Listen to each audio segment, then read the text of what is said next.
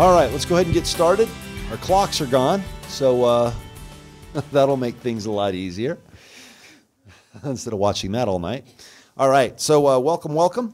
Um, we are getting started a little late. City Council has been going actually since 5:30 in executive session. Actually, five. They've been going since 5:30. I showed up at 5:35 ish. So, but anyway, so we have been going. So uh, sorry that we're uh, making y'all wait. We have been working, believe it or not. So uh, let's go ahead and start with uh, roll call. Mayor Bagley, Here. Council Members Christensen, Hidalgo Fahring, Martin, Peck, Rodriguez, Waters. You have a quorum. Let's say the pledge.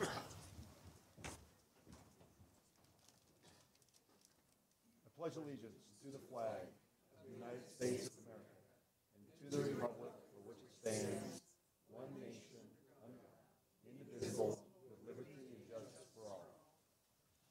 I find it amazing that we can chant airball like like at the same time, no problem. But the pledge sometimes we're all out of sync. But anyway. Let's go ahead and chair reminder to the public. Anyone wishing to add their name, if you want to speak at public invited to be heard, youth council, you're going to rock it tonight. It looks like. So, uh, but if you want to speak, um, you need to get your name on the list before it starts. And uh, if uh, you don't get on the list, we'll just go ahead and put you at the back of the meeting or at the end of the meeting. You'll still get a chance. Everyone will get three minutes. At the end of three minutes, I'll have to cut you off. So let's go ahead and move on to approval of minutes. I have a motion to approve the minutes of January 14th, 2020? And it looks like we might have an issue with the agenda. With the minutes, Oh, so yeah, the minutes. it's, it's a correction to page 10, just capturing the public, the results of the public vote. Uh, did I not read it out? You read it out, yeah. The- In the minutes that were in the packet, it did not have those two lines that showed, that Oh. highlighted, that show how council voted on those appointments. Well, thank you very much, whoever You're caught that. welcome. Do we have a motion to uh, approve the minutes um, with the, uh, adding the exception of council members Christensen, Hidalgo Fahring, Martin, Peck, Rodriguez, and Waters voting for Alice Davis, and Mayor Bagley voting for Matthew Spencer? As corrected? All right, we have a motion to uh, approve the minutes as modified. It's been moved by Councilmember Hidalgo Fahring. It's been seconded by Councilmember Martin. Let us vote.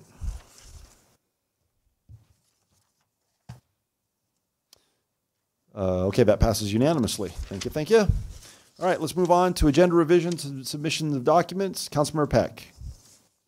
Thank you, Mayor Bagley. Actually, I just got an announcement that I would like to make rather than uh, have any additions to the agenda. I was just told that um, at the RTD meeting, they selected the uh, interim director, and he's going to be Paul Ballard as RTD's uh, new GM and CEO. So that was just recently, a couple of hours ago, they did that. Well, we, we wish Mr. Ballard luck and success, and may he give us everything we want. All right, let's go ahead. Uh, City Manager, do you have a report? Mayor, I do have a quick report. Um, As we're um, continuing to get ready for the census, we're going to be giving you some updates, and we have a quick 30-second video. Cool. We had been together for 25 years. We had so many more things that we wanted to do in life, a young son that we wanted to do them with. That's awesome. My attention is grabbed. Let us continue.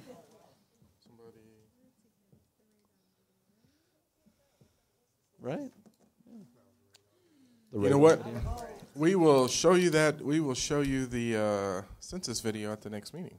Okay. All right, great. Well, good job on that manager's report. Nice and short. All right, next special reports and presentations. Uh, a proclamation designating January 2020 as National Radon Action Month in Longmont, Colorado. Is that the video we will be watching? I'm thinking so. Okay.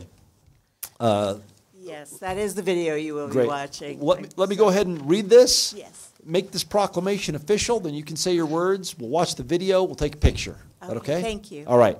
This is a proclamation designating January 2020 as National Radon Action Month in Longmont, Colorado.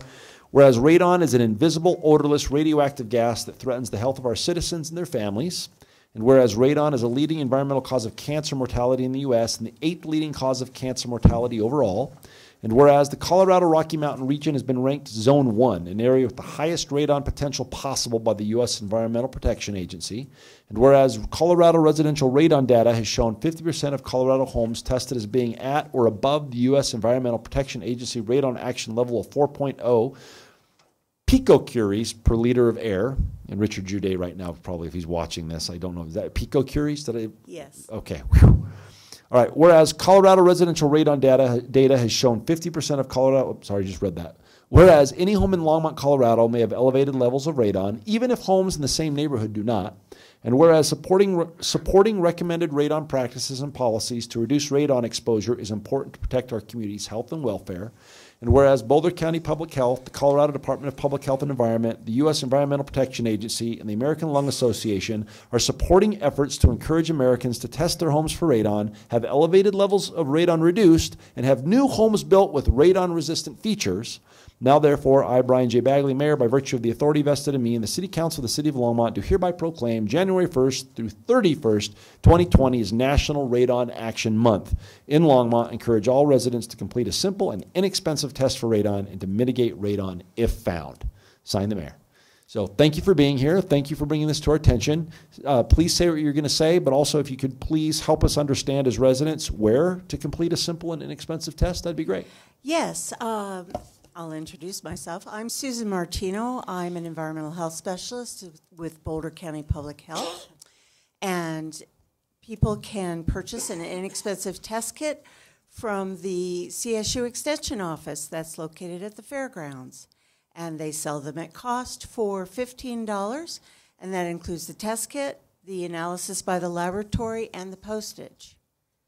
So um, it's, it's a very simple process to do, and anyone can do it themselves.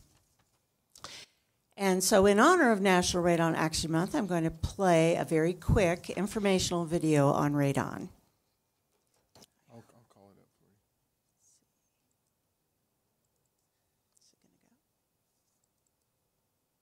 We had been together for 25 years. We had so many more things that we wanted to do in life, a young son that we wanted to do them with.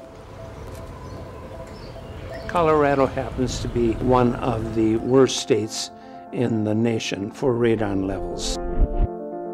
My exposure for the 10 years that I worked in a home office, that's what resulted in my cancer. Radon is an odorless, naturally occurring gas. It's a derivative of uranium, which occurs in the crust of the earth. It's in our ground and it seeps up.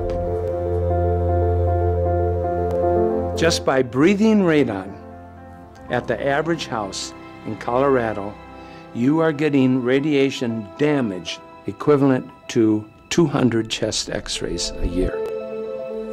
The EPA estimates that in homes there will be about 22,000 lung cancer deaths a year caused by radon. The more you breathe radon, or the higher the radon value, the more chance you have of one of those DNA being hit and the cell mutated. It is the leading cause of lung cancer, aside from smoking. The thing with lung cancer is you don't feel anything until you're into maybe stage three or stage four. Wheezing, shortness of breath. There are many, many things that can cause those kinds of symptoms. And um, so people don't necessarily go to the doctor. There are other states where there's legislation that radon um, has to be measured in any new home built or in a home that changes hands. Um, he was only 58 years old when he passed away. And we had a 13 year old son. I'm hoping that we will progress in our legislation to make it a requirement, especially for new builds and in real estate transactions, that it is a requirement to test for radon.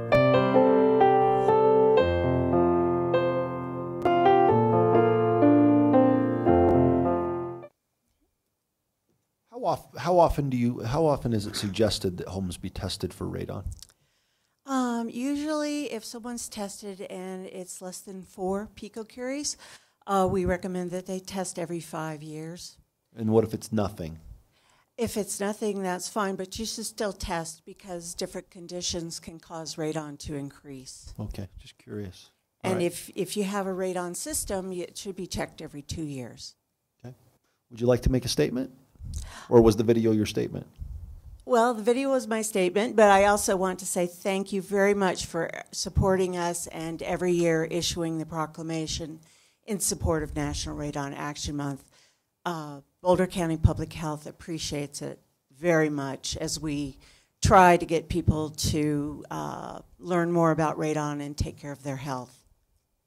Do we have any currently, do we have an ordinance or any type of legislation here locally that would require radon to be tested for upon the exchange or building of a new home?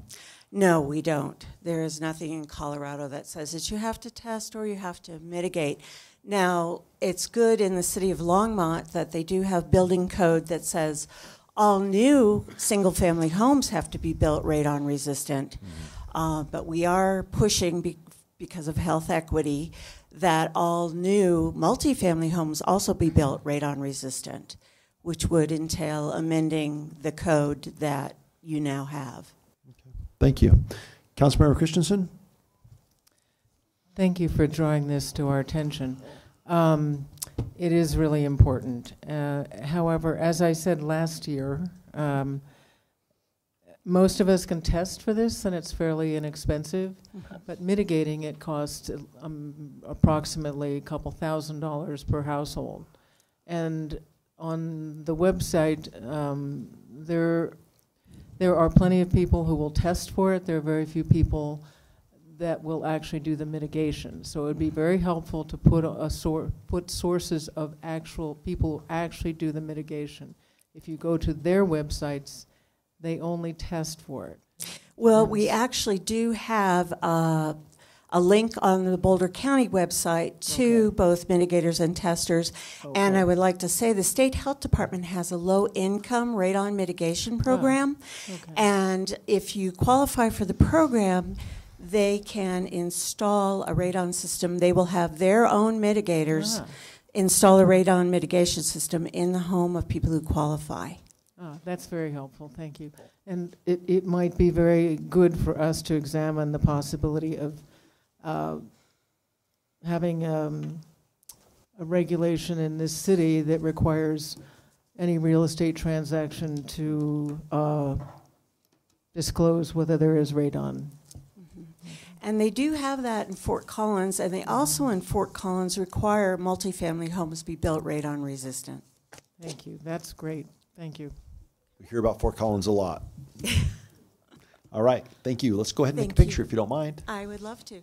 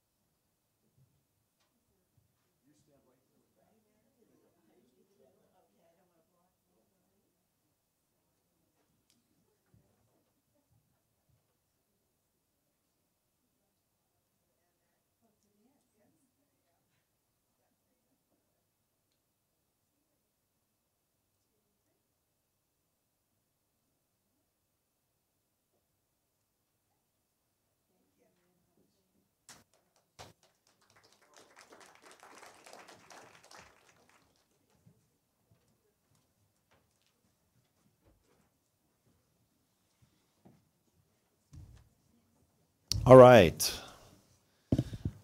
Let's go ahead and there's another thing we're supposed to do. Ah, the quarterly update of the activities. The Longmont Economic Development Partnership is. Je- oh, there you are. I was like, where'd Jessica go? Hard to miss. You're hard to miss right now. When do you do? Next month? Early March. All right. Well, you can go ahead and have a seat and use. There you go.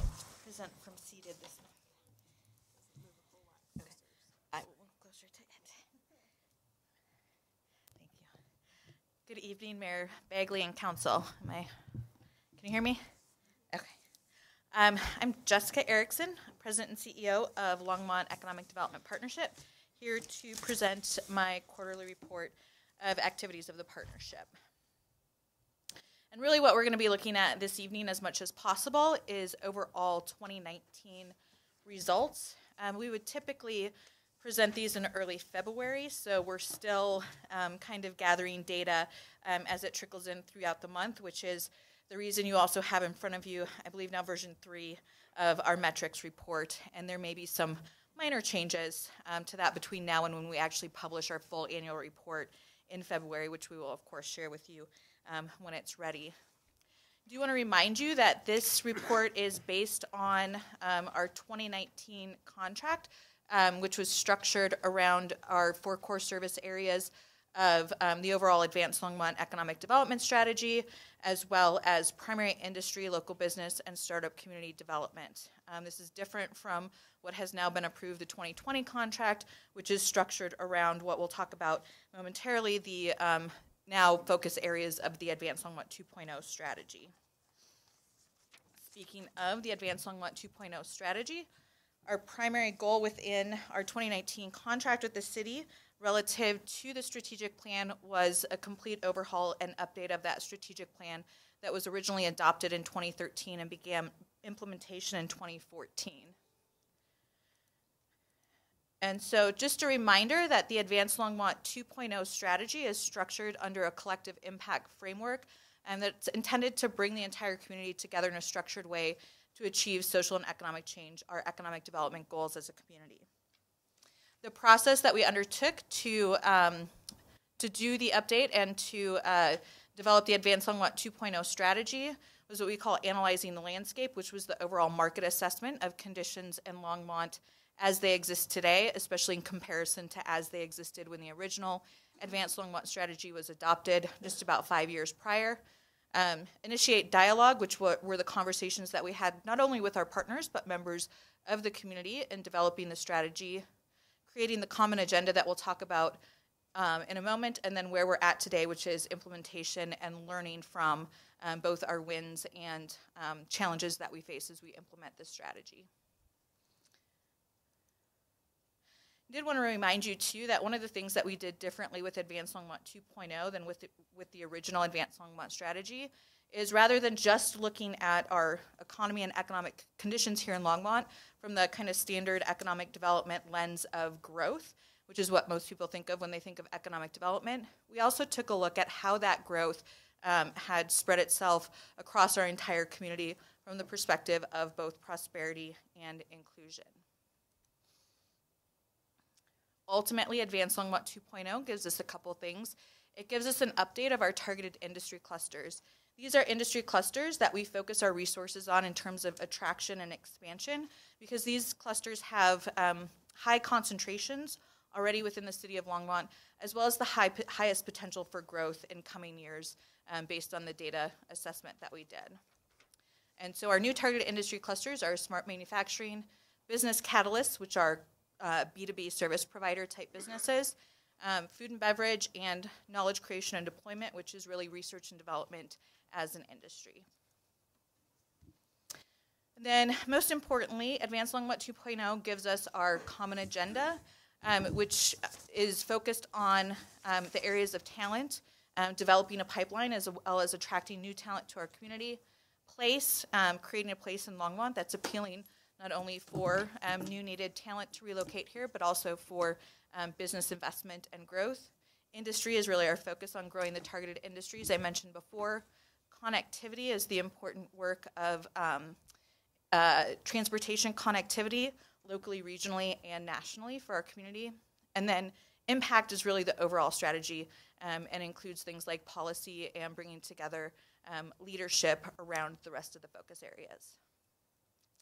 We have, um, specific to the fourth quarter, we have convened working groups around all of these focus areas. And so our collective impact structure is really that what um, was our existing Advanced Longmont Partners Group now becomes the steering committee for all of the work that's being done. Longmont Economic Development uh, Partnership, the backbone organization, and then our working groups as well as our total community networks um, being really where the work is getting done to implement this strategy. Again, the working groups have been formed and have been meeting on a monthly basis and have completed or are close to completing um, uh, action plans for 2020. So action plans of all the work that they intend to accomplish um, through 2020, and in some cases beyond. Anyone who is interested in reading the full strategy as well as following the progress of those action plans, we do have a website that includes a data dashboard and all of the action plans and progress reports, um, and that is advance.longmont.org. You can also get to it from our website, which is just longmont.org. Okay, so the next area of focus for us in 2019 was primary industry development. We had a stated target in the contract to attract, relocate, or expand 10 primary industry businesses that would create 500 new well-paying jobs and invest 50 million in new capital investment. The number that the numbers that appear in our metrics report, and I'll explain a little bit because they are a lot higher than what we were, projecting of 74 businesses, 1,135 new jobs, and nearly 130 million dollars in capital investment as a result of the work of Longmont EDP in 2019. This does include businesses that expanded through use of our enterprise zone program.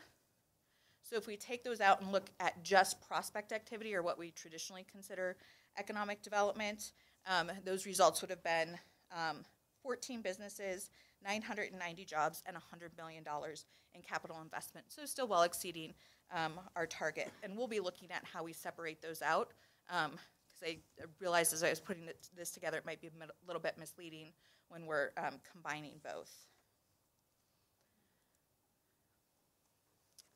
We, of course, annually work to retain 100% of our primary employers and jobs.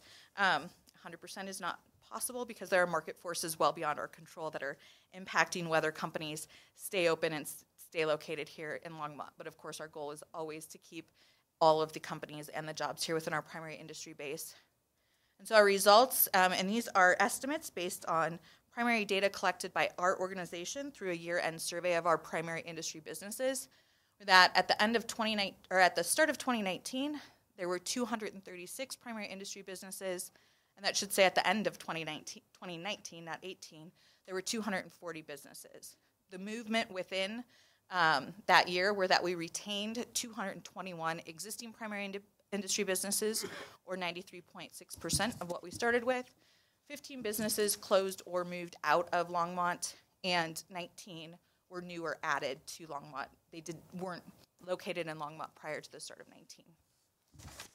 then when we look at it from the perspective of jobs, we started the year with 11,130 primary jobs and ended the year with 11,191. Again, the movement throughout the year within um, those primary industry jobs was that we retained 10,685 or 96% of all those that we started the year with. Um, experienced a loss of 433, an addition of 506. So net increase of 73 jobs, um, just under 0.7%, which is aligned with overall job growth within the community.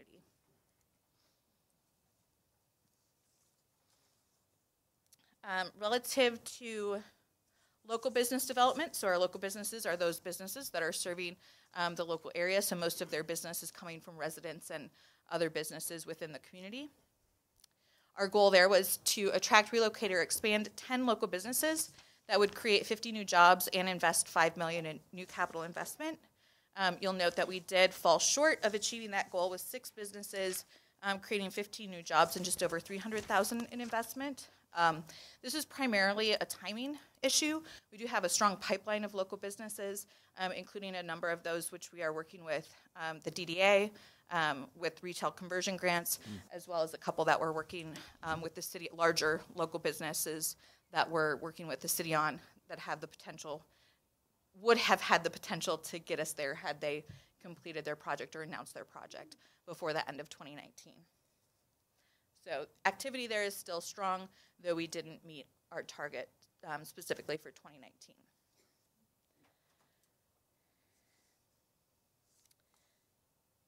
Um, relative to startup community development, again, our, our target was to support the launch of 10 new ventures that would create 20 new jobs. Um, we almost got there with the creation or the launch of seven new ventures through um, work with Longmont Economic Development Partnership and 17 new jobs. We have since then spun out our Innovate Longmont program um, so that it is its own um, 501c3 organization um, with its own executive director, its own um, goals, uh, funded by Longmont EDP currently, but with a long term goal to be a self funded, self sustaining accelerator organization for the community. They are already in 2020 working with seven um, startup businesses as part of that program, with a goal again this year to um, uh, to have at least 10 new businesses participate and in and launch out of um, that accelerator program.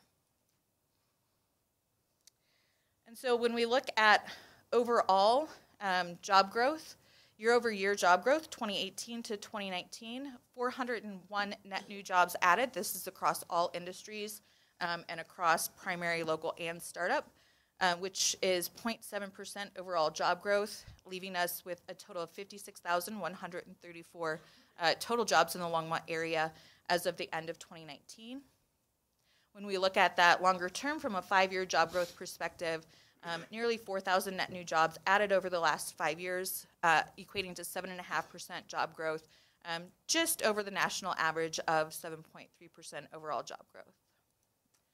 And then when we narrow that down to our targeted industries, again, these are industries where we expect to see higher job growth. That's why we focus our resources on um, working to attract and expand these industries in particular. Um, we see positive, significantly positive job growth um, across all four of those targeted industries um, with a total of 2.1% job growth um, compared to 0.7% overall job growth and when we look at all jobs in the community.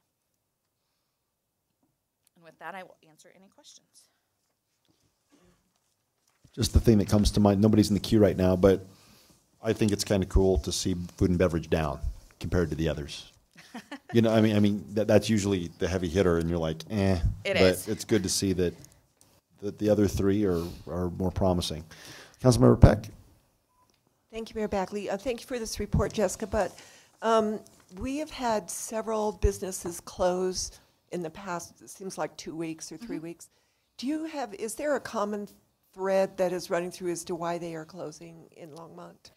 Um, it, it would depend on. I, mean, I know there have been a number of restaurants that have announced closures, and those have ranged anywhere from um, personal reasons, illness of the ownership, to um, to down business. So there are a variety of different reasons.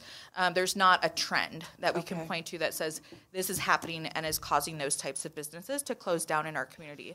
I can tell you from a restaurant perspective, we are probably as a community, based on what's happened over the course of the last few years, over restauranted, if I might coin a term, um, and potentially over retailed as well in some cases. And so we'll watch that closely, but I think that's um, both uh, individual business issues as well as market forces that there wouldn't be anything that a city government or an economic development organization could really do anything about. Um, there's the unique, very unique um, situation I've been reading about in detail with Lucky's. Um, Yes. they just, I mean, simply over leveraged. Um, if you understand the financials of that, they, I mean, they were um, acquired by, or not acquired, but invested heavily by Kroger and ultimately ended up owing Kroger over $300 million um, with $15 million in the bank. So, um, whatever you want to take from that. And so, that again is not an indicator of anything that's happening in the economy or in the community. Um, we do have our economic summit coming up at the end of February where we'll, where we'll have a regional economic forecast. But all of the forecasts that I've seen from Wobbekind and others um, suggest a slower 2020, but still a strong 2020, in particular for the Boulder County and Northern Colorado regions. Okay, and I assume that if you did see a trend that was happening, you would You would let be the us first to know. know. Yes, Thank absolutely. you very much. Dr. Waters. Thanks, Mayor Bagley. Jessica, I think the first, my first meeting as a council member several years ago, you were on the agenda doing a quarterly report. Were you, do you remember that? I absolutely I remember that. Is it me? Is it just me, or um, uh, have you come that far with? it may be just that I'm looking at it differently, but the data um, there's there is there is serious meaning in the data that you shared tonight, and I just you, you shared a lot of information. I might remember my observation was it was a sea of information, but not necessarily a whole lot of meaning, at least for me in those moments. Uh, but this is, it's, it seems to me, this is a quarterly report where you've knocked a bunch out of, of home runs here. I mean, uh, you set a, a, stretch goal of 100%, which is simply unattainable, and, um, and hit a 94% success rate, which I think anybody's book would be an A, right? Mm-hmm. Um, so is it just the, the, the, the, sophistication of the data, where you come, Longmont Strategy 2.0? What, what's different than what I saw a couple years ago from your perspective? I think it's a combination. So a couple of years ago, we were just a couple of years into the original Advanced Longmont Strategy. Um, also, when I I started with Longmont Economic Development Partnership in, in 2015 with an organization that was kind of a shell. It had been without an executive director for almost two years, um, and then a variety of other challenges, um, uh, fiscally and otherwise, that it was facing. Um, so we were probably just coming out of rebuilding at that time, and um, since then, we've been able to focus on evolving, growing um, as an organization from the talent that we've added to our team, um, from the significant uh, improvement and increase in private sector investment in our organization has allowed us to invest significantly more in a variety of data sources to give us the opportunity to be more accurate um, and have a better understanding of um, where our resources are needed and where our time is best spent. Um, to just with Advanced Longmont 2.0 over the last you're engaging more people in the work of, of economic development. So it's just a variety of things that have happened over the course of the last couple of years, not the least of which is a council that is fully engaged. So I will say I appreciate that, but a council that's fully engaged, city staff leadership that's fully engaged and participating in the work that, that we're doing. Well, I want to say thanks and good on you. I, uh, you've done a great job. You also know how to identify talent. You've surrounded yourself with a great team. Yeah, so absolutely. It's fun. Been, it's been fun to see the development. Thank you. Thanks great talent in Morgan. Yes. I'm, I'm, just kidding. I'm just kidding. Morgan's awesome. Yes, we just lock them in a basement. yes, yes, yes. All right. Uh, uh, Councilmember Christensen. Hi. Um, I do think that you've probably analyzed it right that we are losing a lot of restaurants. I, I don't, I don't, I'm not aware of the um, companies that we're losing that are not uh, food related, but that's because I, I'm just not that aware. I eat more than I sure. do anything else. Um, however, I, I am concerned that part of this, it seems to me, has to do with the rising commercial rents and also with the dropping discretionary income.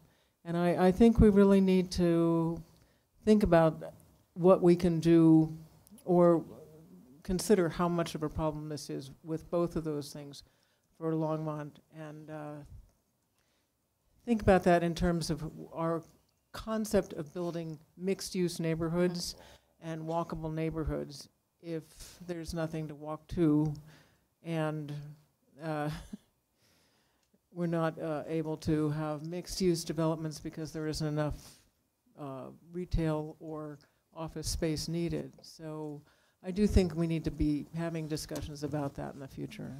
Thanks.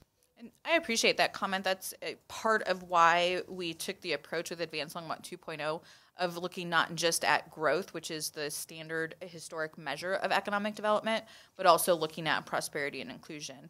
Um, I will say that, um, and I'll go back and check this, but I don't believe the data shows that overall as a city, um, we're seeing uh, lower discretionary income. There are certainly subsets of um, our community of our population that are experiencing that lower. But overall, as a community, the data wouldn't suggest that we're experiencing general um, lessening of discretionary income or lowering of wages or um, median household incomes um, over in recent years. I will double check that because I don't have the data in front of me.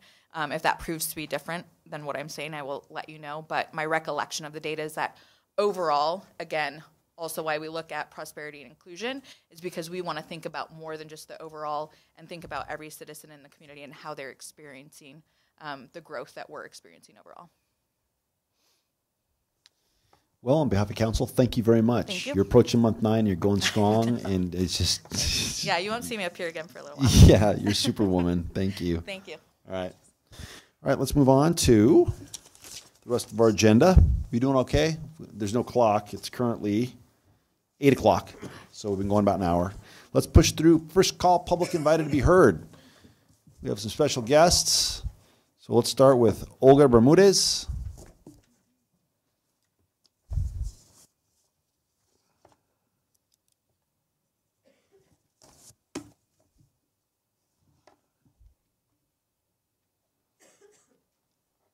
Are we batching it? No, you're, Okay. you're doing great. All right. Good evening, Mayor Bagley and City Council members. My name is Olga Bermudez, and I uh, work for the City of Longmont at Children, Youth, and Families. And I'm here tonight uh, because I would like to introduce Longmont Youth Council. They would like to share with you some of the projects that they are working on on this year. Uh, I would like to welcome Longmont Youth Council. Good evening, Mayor Bagley and City Council members. I am Brianna Jimenez, and I am a senior at Twin Peaks Charter Academy. I am president of the Longmont Youth Council. Good evening, uh, Mayor Bagley and council members. I'm Ming Lu. Um, uh, I'm a senior at Long Niwot High School, and I'm a vice president of youth council. Good evening, Mayor Bagley and council members. I am Olga Rachlinka. I'm a freshman at Niwot High School, and I am the secretary of youth council. Uh, good evening. My name is Ishmael Dominguez, and I'm a junior at Niwot High School, and I'm the treasurer for Longmont Youth Council. Good evening. My name is Sammy Linsky. I'm a 10th grader at Silver Creek High School, and I'm the social media director for the Youth Council. Good evening, everyone. I'm Sydney Walker. I'm a junior at Silver Creek High School, and I'm a member of the Longmont Youth Council. Good evening, Mayor Bagley and council members. My name is Julia Harper, and I'm a freshman at Niwot High School. Good evening. My name is Emma Milchuk, and I'm a freshman at Silver Creek High School, and I'm also a member of the Youth Council. Good evening, all council members and attendees. Thank Can you, for get, can you lift that right up and get it right up Yes. there? Thank you for inviting us to speak tonight. Over the last few months, we have built our passionate, empowered, and creative group of student leaders to be on Longmont Youth Council. We have brainstormed and chosen issues that we want to spend our year in our efforts working on developing solutions for it inside of our community. We are proud to announce our projects for 2020 hunger, voting awareness, sustainability, and mental health and kindness. First, Sammy Lansky will discuss our Halloween for the Hungry project. In Longmont, there is large um, undernourishment and hungry population being beneath, um, hiding beneath the surface. To help address this issue, the Longmont Youth Council did a two-week canned food drive called Halloween for the Hungry. hungry. We collected cans from Prospect Neighborhood, local high schools, and the Longmont Public Library. Additionally, this eventually became a collaboration with CSU students who used to live in Longmont that gave us cans. In the end, we collected 253 pounds of non perishable items that we donated to the local safe shelter, and we actually kept some of the cans at the Children, Youth, and Family Center in Longmont for those who needed it. Um, furthermore, voting rights and legislation are another topic we'd like to focus on this year. Uh, in the project, the focus on pre-registration on um, high schoolers through registration drives, educating them on voting and what the ballot means, uh, and touching the importance of their votes. Uh, um, through working with the League of Women Voters, we were able to use their valuable resources uh, to propel our point further. Uh, we want to empower the youth to not uh, assume that people are gonna um, be representing them. They should uh, uh, represent and speak for themselves.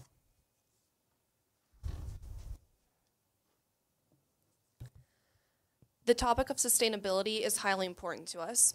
It affects not only the faraway oceans, but us locally as well, with the St. Vrain Valley Basin being clogged by plastic. Each day that we continue to use plastics and release carbon dioxide into the atmosphere, we are taking a day away from our future. We want to reduce single use plastics in Longmont and create a, an everyday and more environmentally friendly environment here. This will be a two year project called STEP, which stands for Save the Earth Project. We want to educate the public, youth, adults, and businesses in order to create a better everyday environment here. Um, we hope to inherit a clean world once we grow older that is not 110 degrees on average. We hope to create solutions through personal, community, and legislative action.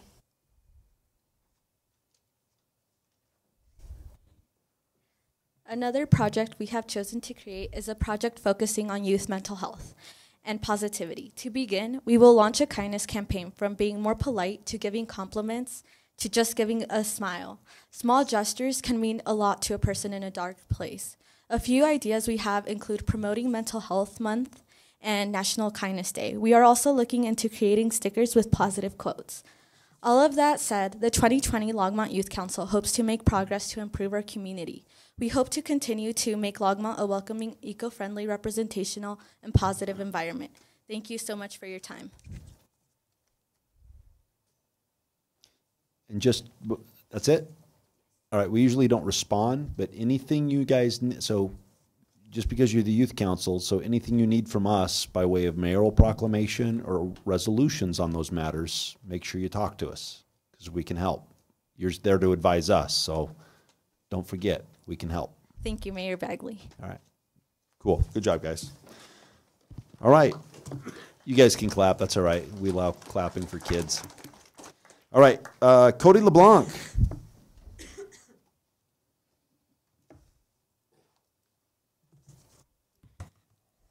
Good evening. Um, my name is Cody LeBlanc, and I'm the area representative for Congressman Ken Buck for Weld, Adams, Arapahoe, and Boulder counties.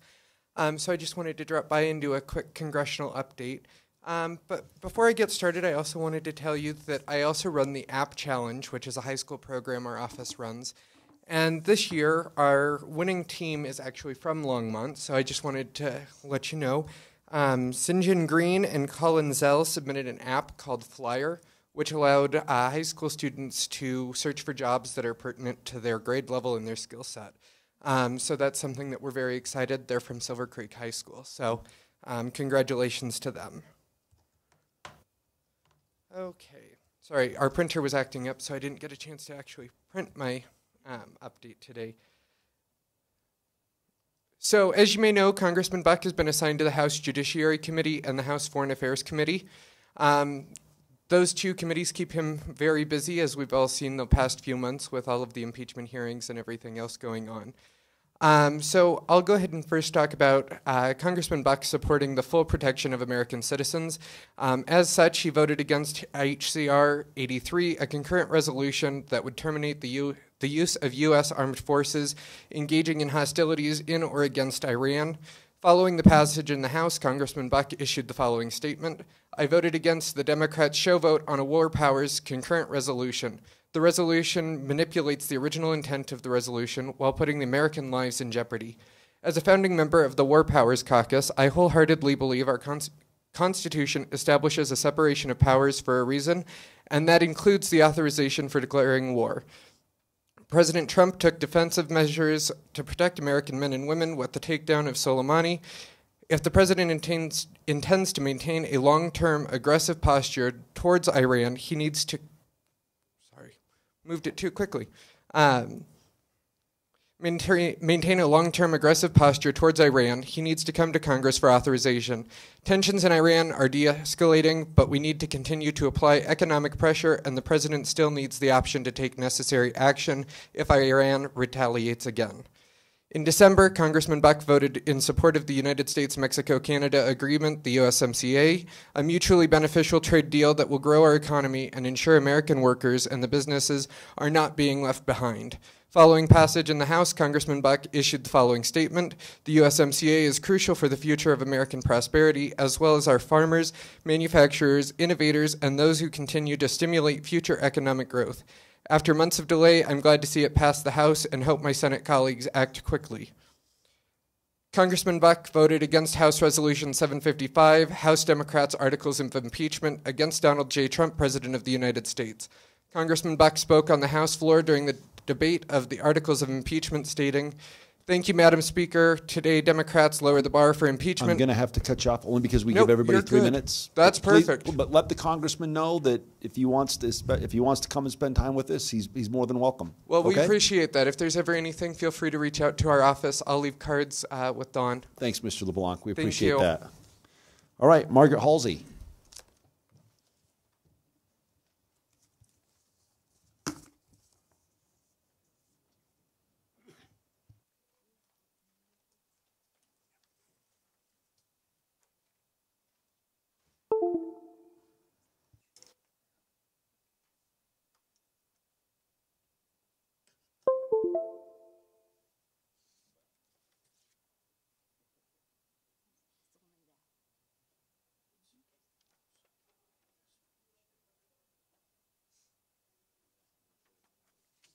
Evening. I am here to speak against. Oh. Oh, sorry. Thank you. Good evening. I'm here to speak against the Housing and Human Services Advisory Board Funding Recommendation 3, the Longmont fam- Family Apartments. To prevent confusion, I want you to know that this proposed development has also been called 15th and Ash, 15th and Alta, 833 15th Street, and on a petition presented to City Council on August 27th, 2019, I described it by parcel number and address 0, 15th Avenue.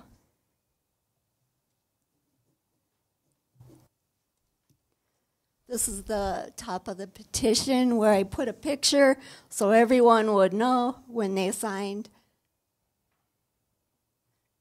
The petition was signed by more than 80 neighbors, and it asked that the pe- property be changed from mixed neighborhood to single family zoning because the density of the project proposed by Prospect is not right for the neighborhood, and we were hoping to reduce the number of units.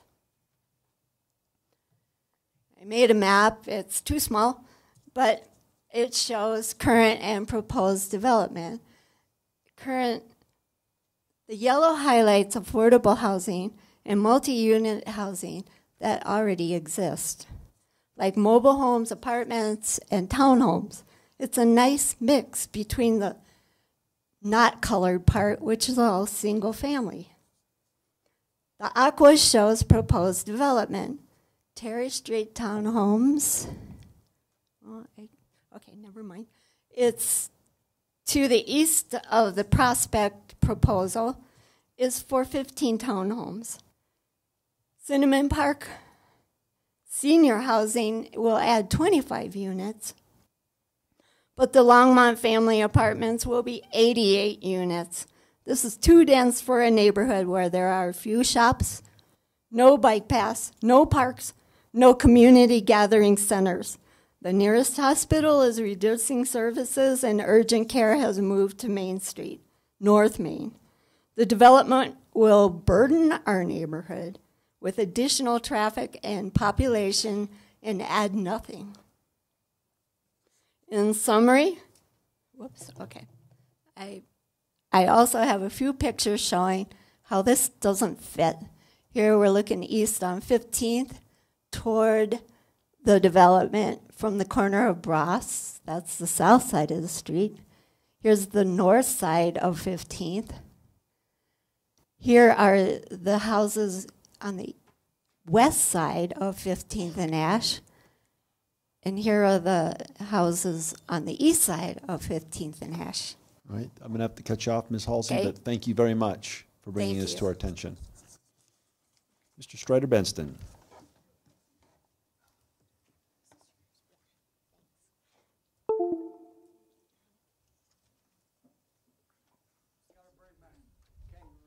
Ah, yes. Kangaroos have and trials have witnesses and trials have evidence.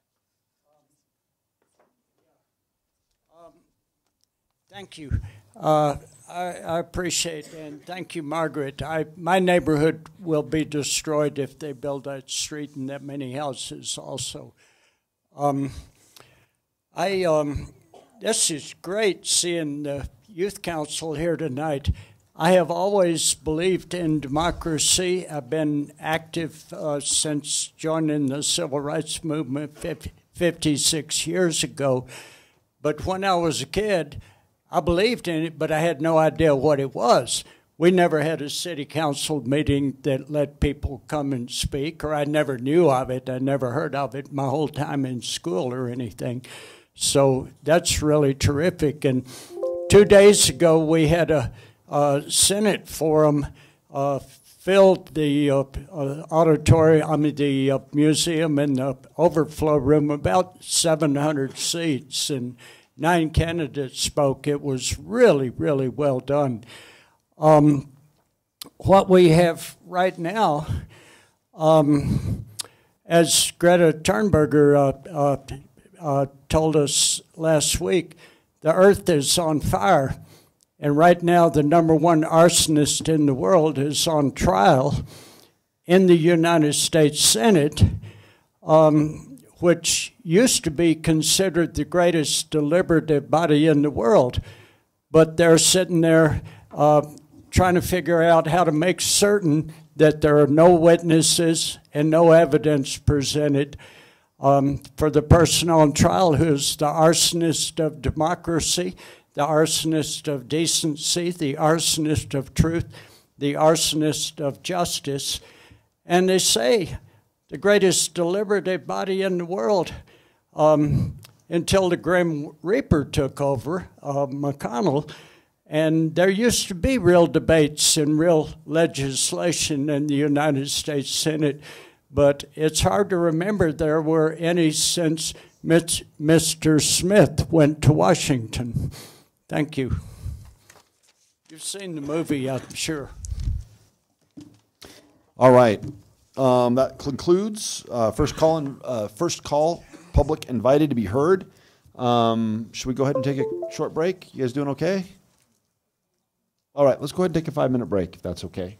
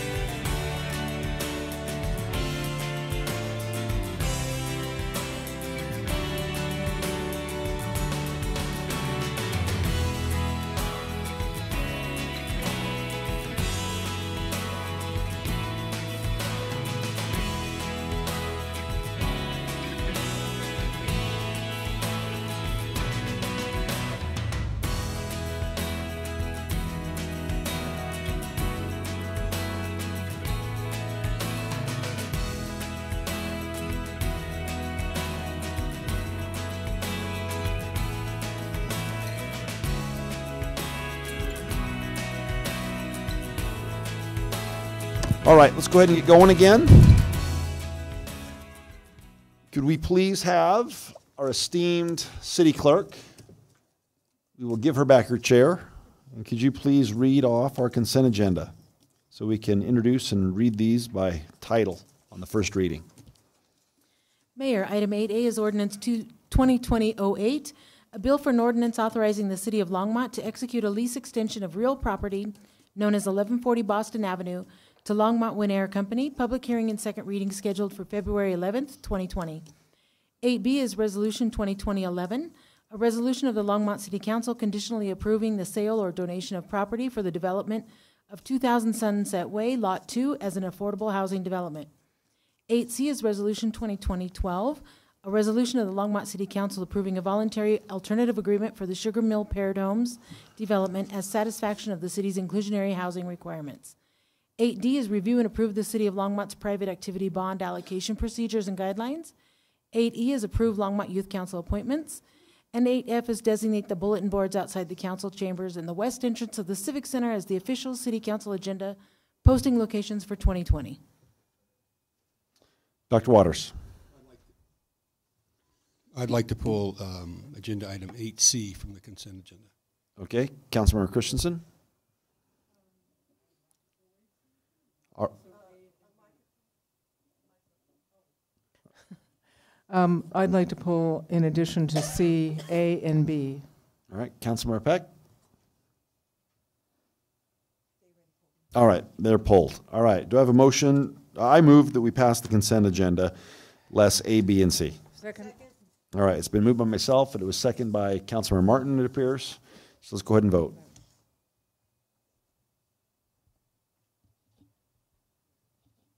Councilmember, okay, that passes unanimously.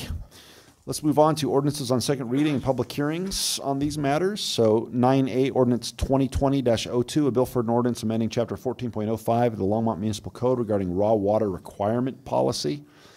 Um, is there, there's nothing on any of these by staff, right? So are there any questions from council or for staff? All right, seeing none, let's go ahead and open up the public hearing on ordinance 2020-02. All right, seeing no one, let's go ahead and close the public um, hearing. Uh, can I have a motion, please? Councilmember Martin? Go ahead. Um, I move ordinance 2020, O 2020-2. All right, it's been moved by Councilmember Martin and seconded by Councilmember Christensen and also by Dr. Waters. Take your pick. Um, let's go ahead and vote. All right, that passes unanimously. 9B, ordinance 2020-03, a bill for an ordinance approving land use amendments to the Envision Longmont Multimodal and Comprehensive Plan for housekeeping amendments. Um, are there any questions from staff, from council for staff? Seeing none, let's go ahead and open up the public hearing on ordinance 2020-03. All right, seeing no one wanting to speak, let's go ahead and close the public hearing. Do we have a motion for ordinance 2020-03?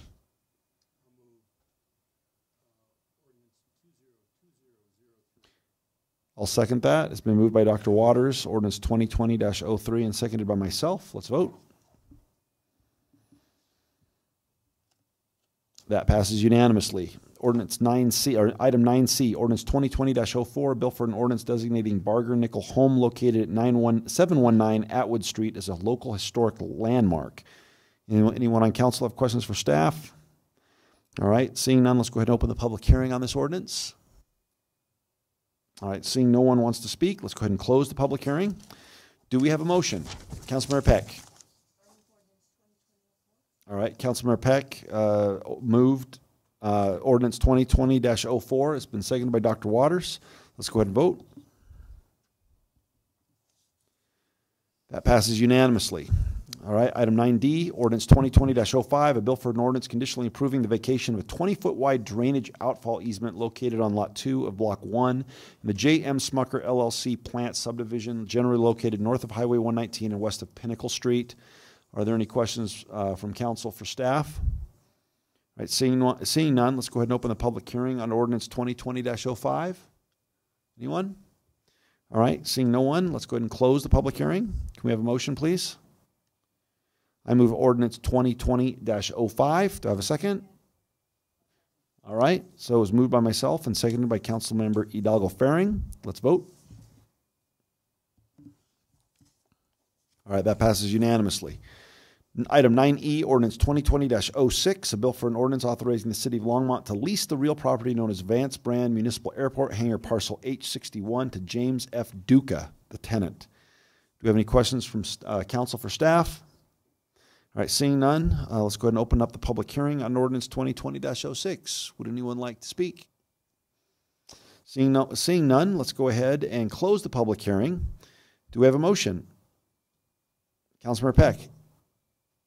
I move ordinance, I move ordinance 2020-06. I'll second that.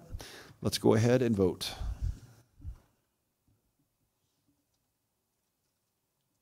Councilmember Martin, push harder. All right, that, that uh, passes unanimously.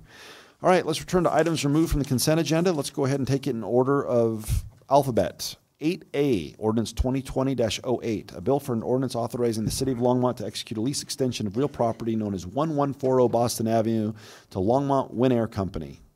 Councilmember Christensen. Okay, I brought this up because um, in reading over um, the LEDP thing and in view of uh, businesses that have gone out of business in the last month in Longmont, um, this company has been there since 2004 because of the, um, and, and, and they've built a successful business. And I don't believe people who've um, been successful should be punished for being successful. Uh, we purchased this uh, in order to, uh, the city purchased this land in order to uh, work on our um, repair of the river corridor, which we certainly do need to do. And that was not our fault, and that was certainly not this company's fault either. It's something that was necessary. Um, as part of that, uh, half of the, the building that they were in but was occupied by Creative Learning uh, had to be demolished so that we could expand the river corridor and dig it deeper and wider. Um, once again, that isn't their fault. So they do want to expand, but it may take them a couple of years. Meanwhile, what we are proposing is that um, if, if they have been good tenants, I don't see why we would be charging them an extra 3% this year and an extra 3% next year.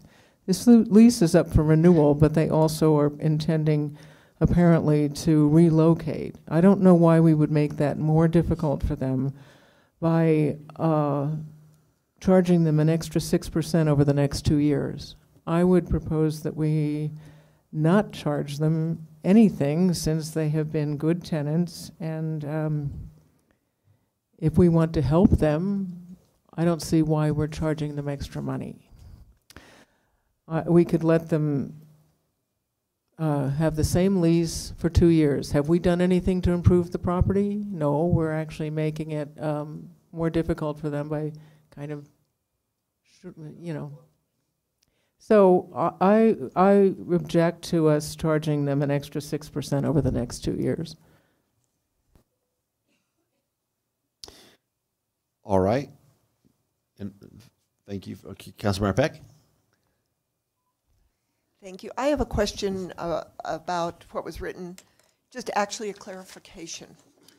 Uh, we did move the Creative Learning Center, and it said, according to this uh, communication, that the city followed the Federal Uniform Relocation Act procedures, um, which requires that all applicable moving expenses and any increase in rent for the next two years be paid to the party being relocated. So is the excess in this rent, the increase going to the Creative Learning Center? No, that's a No. separate issue. Can you explain that? I didn't understand that. So what's meant by that, uh, Dale Rademacher, uh, Deputy City Manager, um, Councilmember Peck, the uh, reference in our communication with, with regards to creative learning was to just demonstrate that the city followed the, uh, the Uniform Reclo- Relocation Act, which is a HUD requirement when you're using HUD funding for projects, and it's to ensure that um, when people are being moved, um, um, uh, in a way that they didn't come up with wanting to do. In other Right. words, um, that that the that their all their costs of moving and relocating are done, um, as well as covering any increase in their rents. And so we're doing that separate with creative learning. So this this action tonight is really only dealing with the second half of the building uh, that's uh, currently occupied by Win Air. And that that- was what I needed explained, that the increase in rate to Win Air was not going to, uh, according to this act, to creative learning. Correct. That is, Correct. they're, they're Okay. separate. And what I would say with regards to the, the lease rate, certainly, you know, staff will defer to council on what you think is appropriate. Um, I believe these three percent increases were what we felt, um, was happening basically in the Longmont market. And if anything is lower than what's happening, um, in a more competitive environment. And so in, and I un- fully understand what you're, uh, referring to, Councilmember Christensen, and I certainly support whatever the council wants to do, but um, staff really values Win Air. We think they are a very good tenant. Um, we believe they very well may want to stay there, even though they want to enlarge um, uh, their their footprint in a way that may or may not be able to be uh, you know accomplished. I think the biggest benefit we are doing for them, though, is removing that building from the floodplain and protecting it with the project that we're doing. And so there's a there's an indirect benefit back to them um, to hopefully be able to stay in business if we um, are uh, impacted by another flood. But again, we'll defer to council on what you want to do with the the lease rate. But, but they've agreed to this, right? Yes. Okay, so, all right. Uh, Councilmember Rodriguez, I'm sorry, Mayor Pro Tem Rodriguez. Thank you, Mayor Bagley. Uh, what would you um, say? I don't know if you could ballpark what generally commercial uh, lease rates have increased by over the last few years. I don't know if anybody It's, has it's too answer. bad Jessica's not Yeah. here. Um, I don't know, Harold. Do you do you have a sense? I, I, I it's a very tight market in Longmont right now. Right. i- i- Is what I do know from being on the LEDP, and I, I would not be surprised if they're not increasing in the in the five to ten percent rate. And so then my other question would be, as this has already been, as uh, you I think just answered, uh, negotiated lease terms, um, why would they have not asked for a longer lease term than two years? So the two years is one that um, we are requesting because that is the time it's going to take us to really clear this area of the RSVP, the Resilient St. Vrain project. After that two-year time frame, the city, we would then come back to the council and ask you all the question, do you want to sell this property now? And so we're, what staff is saying is that over the next two years, city, you should maintain ownership of it um, because we are impacting it with the project. There is no denying that. Um, there's a lot of work going on in that area. Um, after two years, the question will likely be posed to the council, do you want to sell? So we're not certain that we'll even own this property after two years necessarily. Correct. You, you, you guys are going to have the decision to make on whether you continue to own it or you sell it. And I think they're trying to figure out what they want to do. To to your question, in this terms of timeframe, um, space availability, I think what we can say is that generally, if you look at the inventory that's quoted in some of the LEDP reports, um, once you take out the Mac store and you look at the amount of available space, I think it's less than five percent. When you then call out space that they need for that high bay storage, it's even lower.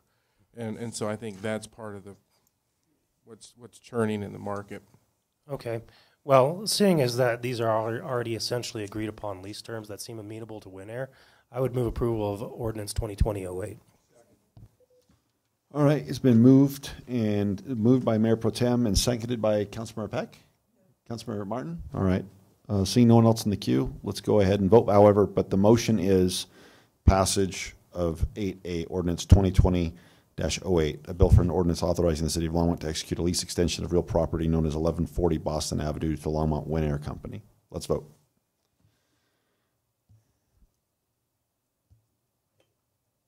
All right, that passes six. Do you want to change your vote? I have not. I have not. Okay, that passes six to one um, with Councilmember Christensen uh, against. Uh, Councilmember Christensen, 8B.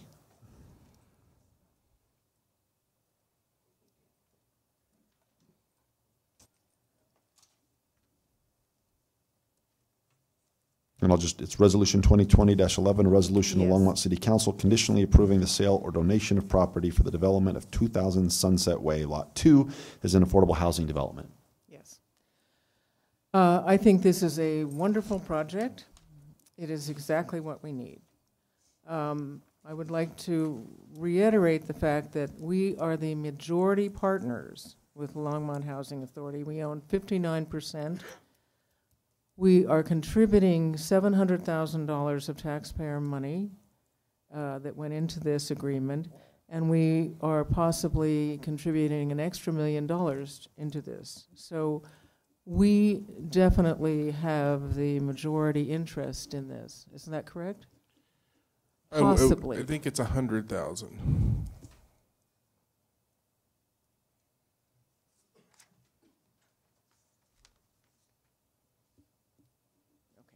Okay, I'll take your word for it. Anyway, that's a considerable amount. Which is a loan that they'll repay. That's right, That is 100,000. Okay. Anyway, um, and um, I, I really value the work done by our real redevelopment director, Tony Chacon, in finding uh, this partner elements, who does this for a living. This is a good example of what can happen when we have a good developer who's eager to build what the city needs, which in this case is transitional housing. The, um, the former director of, uh, of the Our Center, Edwina Salazar, has said for years, both publicly and privately to me, that they can help people, but they have to have transitional housing, and we have no transitional housing. And we are now starting to build it because of the Affordable Housing Act. And this is an excellent example. However, because I am on the Longmont Housing, uh, I'm a Longmont Housing liaison, um, I would like to see the agreement, and I, I am all for this, this agreement, um, which uh, merely transfers our share over to um, elements so that they can apply for CHFA. But I do not agree with the um, agreement with Longmont Housing Authority, which last time I saw it, um, wanted them to be receiving, uh, I believe this is true, and you can confirm this, Kathy, $100,000 yearly payment for Longmont Housing Authority to administer, for administrative fees. I don't think this is tenable for an affordable development or for any development. And furthermore, they are not the local experts in transitional housing. The local experts are the Our Center, Hope, Agape, and the churches who've been providing this, particularly the Congregational Church that built the Micah homes. But the Our Center and Hope are, are local experts in providing housing assistance and transitional housing and resources. So I, I do not want us to sign off on any agreement that um, puts the long, I, and I'm not putting down the Longmont Housing Authority at all. That's simply not in their uh, skill set, shall we say. Um, I, I see how they think it would be helpful for them to administer both the suites and this, but it's really a very different population. And I do not uh, think that it would be useful for them to be administering this. Furthermore, they're burdened with many federal, state, uh, federal and state compliance issues and funding issues. Um, in addition to having several different groups of case management at the suites, which is very problematic in terms of HIPAA rules. So I, I do want us to be sure that we are not signing on to something, um, if we vote in favor of this, um, that sets up the Longmont Housing Authority as liaison. I mean, as the, um, the administrator and the manager of these, of this, uh, um, new development. Elements came to us uh, because they're very skilled at this, and I would like them to have the freedom to do that. So, um, Mayor and Council, Kathy Fedler, Housing and Community Investment Manager.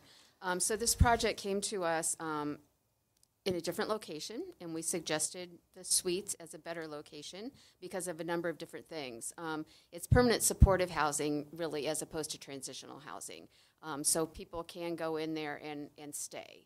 Um, they don't necessarily move out, although with support services and some um, counseling, sometimes they are able to move up and out. Um, so this first phase is really permanent supportive housing um, that is like the suites. So what this does is it gives us the ability to negotiate with Element and with the Housing Authority um, and the city as partners in what is this going to look at. So all um, look like. So all this does is really give um, it gives um, Element something to go to CHFA with for their application that says yes, we're all willing to sit down and talk about this, and we're going to reach an agreement. If we reach an agreement, we are moving forward. So everything is still to be negotiated. What we've talked about with the housing authority that you alluded to is that there are some economies of scale in management of the two properties, since they'll be close together, as well as support services for the two properties that would be close together. And that LHA is more um, in their wheelhouse to do property management and not so much support services, where Boulder Shelter for the Homeless is doing support services in a number of different locations throughout the county and could do it in for um, this project as well. And if they took over this, the suite support services, so you're uh, realigning to get people doing things that are more within their wheelhouse, which is is really what we want um, all the way around. Um, the fees are to be negotiated around that still. I know, you know, there's some talk about what people would like to see, but until we sit down and really hash it through, we, we don't have that established yet. So really, it's about aligning um, um, skills uh, with where they are best um, able to support both projects. And again, we're only talking about this one phase that's at the top Right. Northwest corner of the property. Eventually, there may be more phases throughout the property, but right now it's just the one.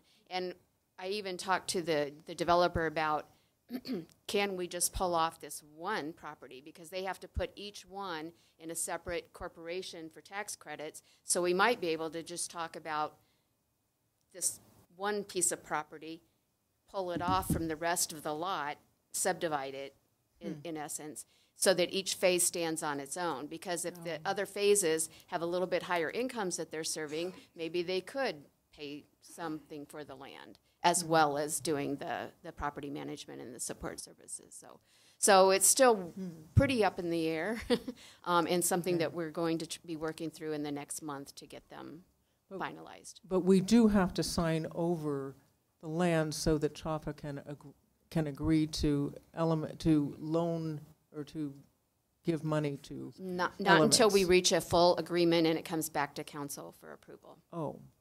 I This is just an what we interim step. This gets them in the door through the application process and is acceptable for CHFA to consider the application. But we're going to have to reach a formal agreement that's approved by LHA board and by the city council um, sometime before they will actually issue the tax credits. Oh, I thought they If had they're apply approved. by the, by February sec, third. They have to su- submit their application by February 3rd, but this agree, this um, resolution and the letter from the city attorney is sufficient for the application. Okay, that's good, that's better. That gives us a lot more time. Uh, Dr. Waters.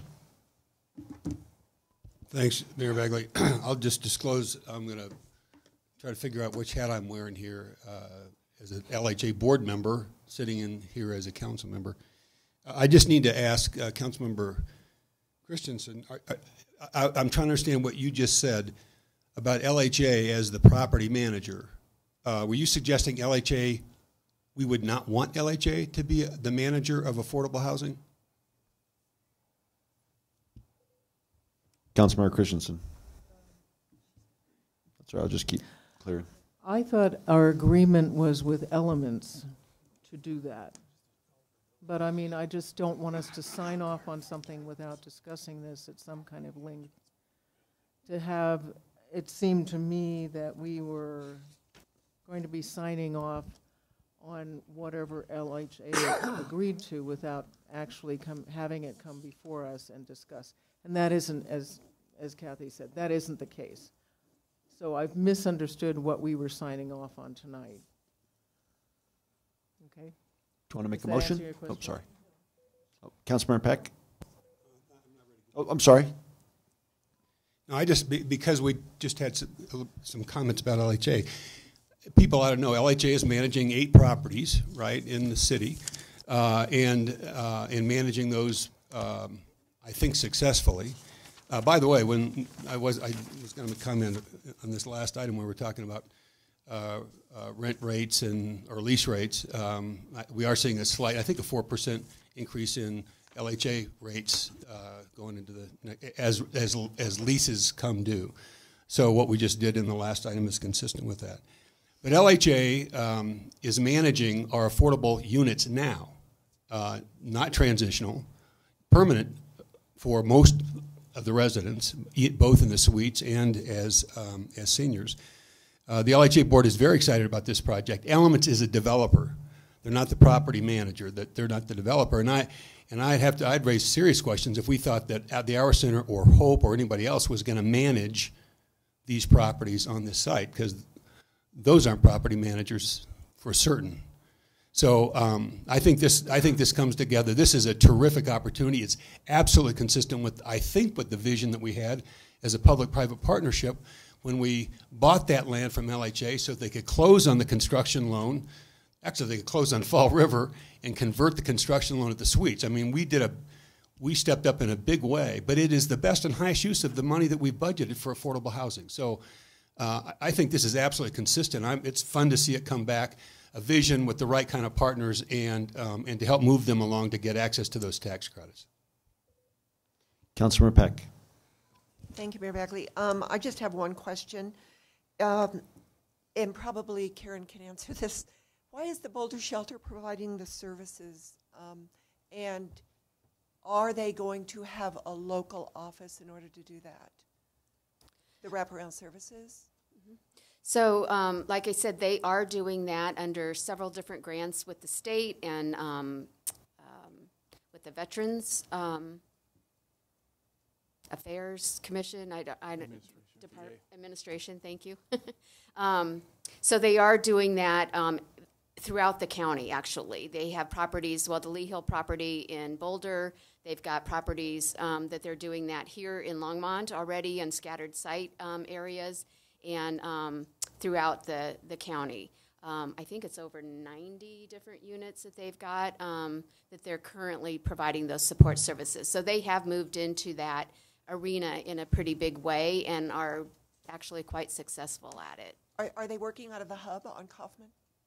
Um, Or do the, my concern is um, these residents having to travel to Boulder for No, no, those no, no, no. services? No, the case managers come to them. They have Perfect. case Yeah. That's what I managers that wanted are to know. assigned to the different um, projects and developments. And- That and- answered it. And then also as a you. as a point of reference, when this um, came to Kathy's attention and she brought it to my attention, I actually asked to schedule a meeting um, with everyone we've mentioned, in addition to our center, in between, Hope, who else?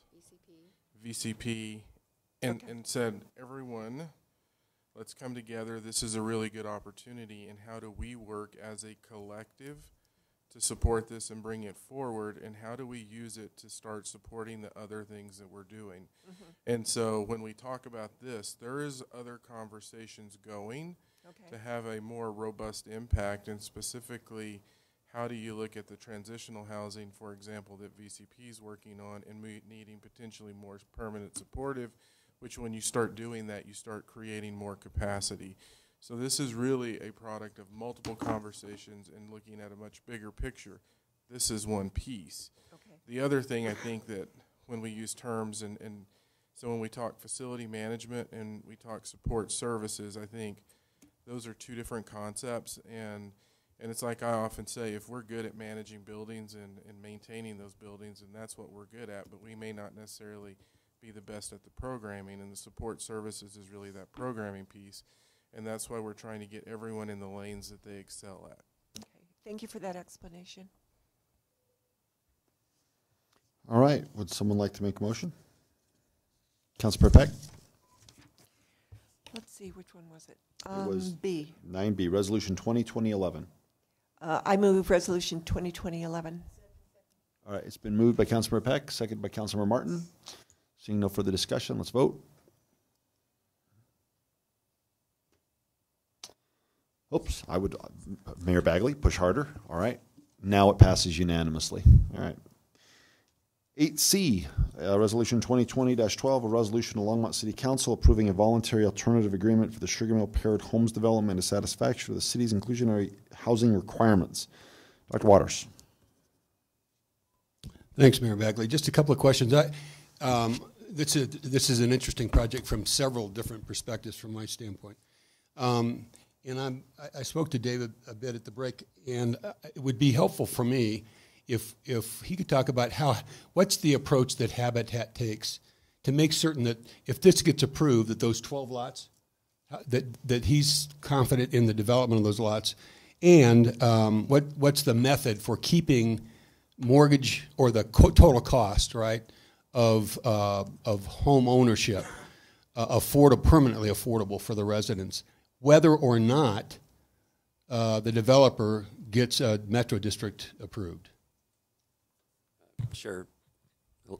Uh, David Emerson, I'm the executive director for Habitat for Humanity St. Vrain Valley. Um, council member Waters. Uh, so we control the financing. Uh, the long and short of that is so we uh, factor in any HOA fees, any metro district fees, um, property taxes, and insurance. And we make sure that that amount does not amount to more than 27 percent of a person's income, which is actually well below uh, other guidelines. Um, most guidelines are well, you know, at least 30 percent. Um, so right from the beginning, we know what, um, you know, what that mortgage is going to be for the homeowner. Um, and because we control the financing, it really shouldn't matter whether that metro district is in place or not. Um, we did look at uh, Mountain Brook, for example, and just did a little bit of, uh, you know, we're not in the metro district for Mountain Brook, but at a 50 mil uh, um, rate, if you will, uh, our houses will probably be around $200,000. Um, that's around $68 a month if it was applied that full metro district. Um, so again, we would back that out, and our um, principal payments would uh, uh, add up to um, not more than 27 percent. So regardless, uh, you you could do the same thing with an HOA. We would have to. Yeah, yeah. I just think it's it's instructive for me at least to understand metro district or not, HOA or not. Right. That is unrelated when habitat's involved to whether or not homes are permanently affordable. Right. Yeah, which is part of the, the beauty of what you bring into the equation. Um, so, uh, given the fact that we've had this discussion about metro districts, I just think it's important to understand that's separate from what we're doing with our affordable housing initiative. And then I'll be quiet. I, um, I'm going to be I'm supportive of this of this proposal, and I'll listen to the concerns or questions of others. Harold, when, when's uh, when's the Metro District discussion? On the fourth, right? You wanted it at the next study session, so that'll be All February right, so we're, we're popping into the queue here, and we uh, we we got the battle coming up. So, all right, Councilmember Christensen. Um, I would like Eugene to explain the legal definition of dedication of this land. Does that mean that that Habitat for Humanity, for instance, owns the land outright? They have a title to it, they can sell it. Or does that mean it is leased for a dollar a year or something like that?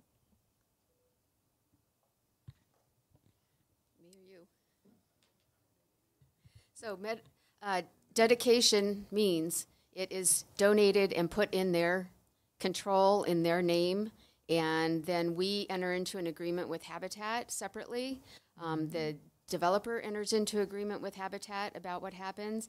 And if anything would happen to Habitat, the land, it's going to go in the agreement, the land comes back to the city. So there will be full control. There will be covenants on the property, um, and it'll be deed restricted. But it's in Habitat's name at the point of donation. They own it and they can Yes. sell it? Yes. Okay, that's what I wanted to know. I, I am curious as to how this qualifies for a voluntary alternative agreement. We, this was supposed to be something very, very rare, and we've had about three applications for this now in the last six months. Yes. So this one is, falls under the um, alternative agreement because of the land donation. The code right now says the land is dedicated to the city. So Mhm. to allow it to be dedicated directly to Habitat, that's why we have to have the voluntary alternative agreement. We are going to be bringing back um, some tweaks and changes to the code, probably yet this quarter. Um, And this, that would be one of them to, to change that, so we don't have to keep bringing this back. But what would keep a developer from setting up their own uh, charity or making an agreement with a charity? I mean, to me, I, I see the um, efficacy in just transferring it directly to Habitat. And Habitat, of course, is a wonderful organization. But uh, this undermines our inclusionary housing in that right now it is the land is given to the city and the city gives it to a genuine charity such as Habitat for Humanity. What would prevent this if we if we start doing this and just transferring it directly to a charity from the developer to the charity, what is to prevent the char- the developer from creating their own charity that they donate their own land to? So there was discussion about this during the inclusionary housing um, code writing. Yes. um, and um, I think there was an, a couple of different things that were, were mentioned. That was a concern um, Yes. by some council, which I think is why we ended up with it going to the city. Yes. Um, and the previous um, inclusionary housing ordinance, we um, got around that by saying that the nonprofit or the charity, whatever you want to call it, had to be approved by the city, and there were certain, we set up ramifications or certain criteria of how that could be met. Um, it's a little bit burdensome to put it in the code, but it could go in guidelines or something like that. Um, or you could just limit it to a number of specific Longmont-based organizations, nonprofits that um, would be acceptable. Yes, we could, or we could just follow the ordinance. And that's what you have here. so we can keep bringing them back too. So Yeah, thank you. Thank yeah, you. I, I- I think if I'm remembering the conversation, that's the very reason it has to come back in the voluntary alternative agreement is because you didn't want that open-ended component where it could be any charity and council wanted to review that, which is why it's coming back in this form. Councilmember Peck. I guess I'm uh, still a little bit confused because um, in the ordinance, it would just be land in lieu, you know, instead of uh, providing the, the 12% affordable housing. Once the city owns it, they can have anyone develop it. This, this feels convoluted to me because we're bringing in a lot of different aspects.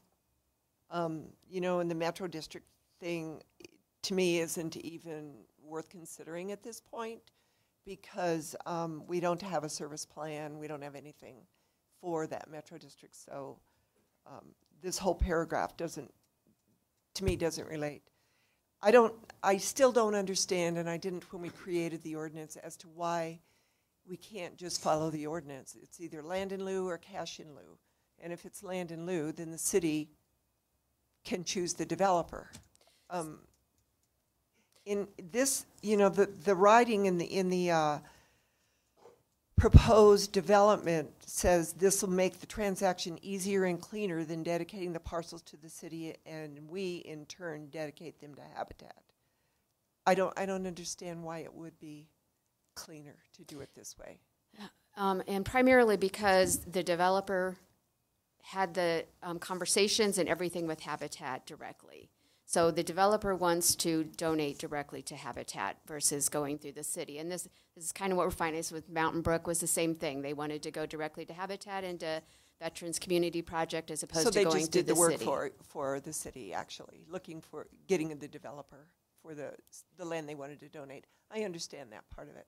Yeah. Okay, so if they've already reached that agreement, it is easier to have them donate directly to them versus going to the city and the city turning around and, and donating it. If it was a more open process, then absolutely, we would be saying donate it to the city and we'll make it, you know, we'll do what needs to be done to have it happen. I guess, I guess going forward, I, I don't want every development to come back to us with a different uh, model, I would say, for what they want to do, um, than what our inclusionary zoning ordinance actually says. So uh, I'll, I'll agree to this, but not with the uh, metro district consideration in it. Because it It- doesn't it make is any not. It, sense. it was only Yeah. meant, the Metro District has only mentioned that if it would happen to go forward, there's a mechanism with Habitat to keep the units affordable. It's not going to impact that. So it isn't a consideration at all, and it's not a vote at all about the Metro District. Okay, great. It was just an explanation. And, and I just want to make um, this statement because I do understand Habitat for Humanity and how they build. Um, what they are doing, they do regardless. This is this is their model with the financing, with interviewing the families and working with them for a year before they even get into the homes to make sure they can afford them. So it doesn't, you know, this isn't anything that the developer is uh, constructing. That finance plan has been Habitat's model for years. So um, that part of it I totally agree with. Thank you. Mayor Pro Tem. Thank you, Mayor Bagley. I was just wondering in our ordinance, do we say that when the land donation occurs, that it's strictly a 12% land donation is sufficient to, to uh, accomplish the, the requirements by ordinance that the developer has? Or is it nondescript in our ordinance as far as? I think that's the gist.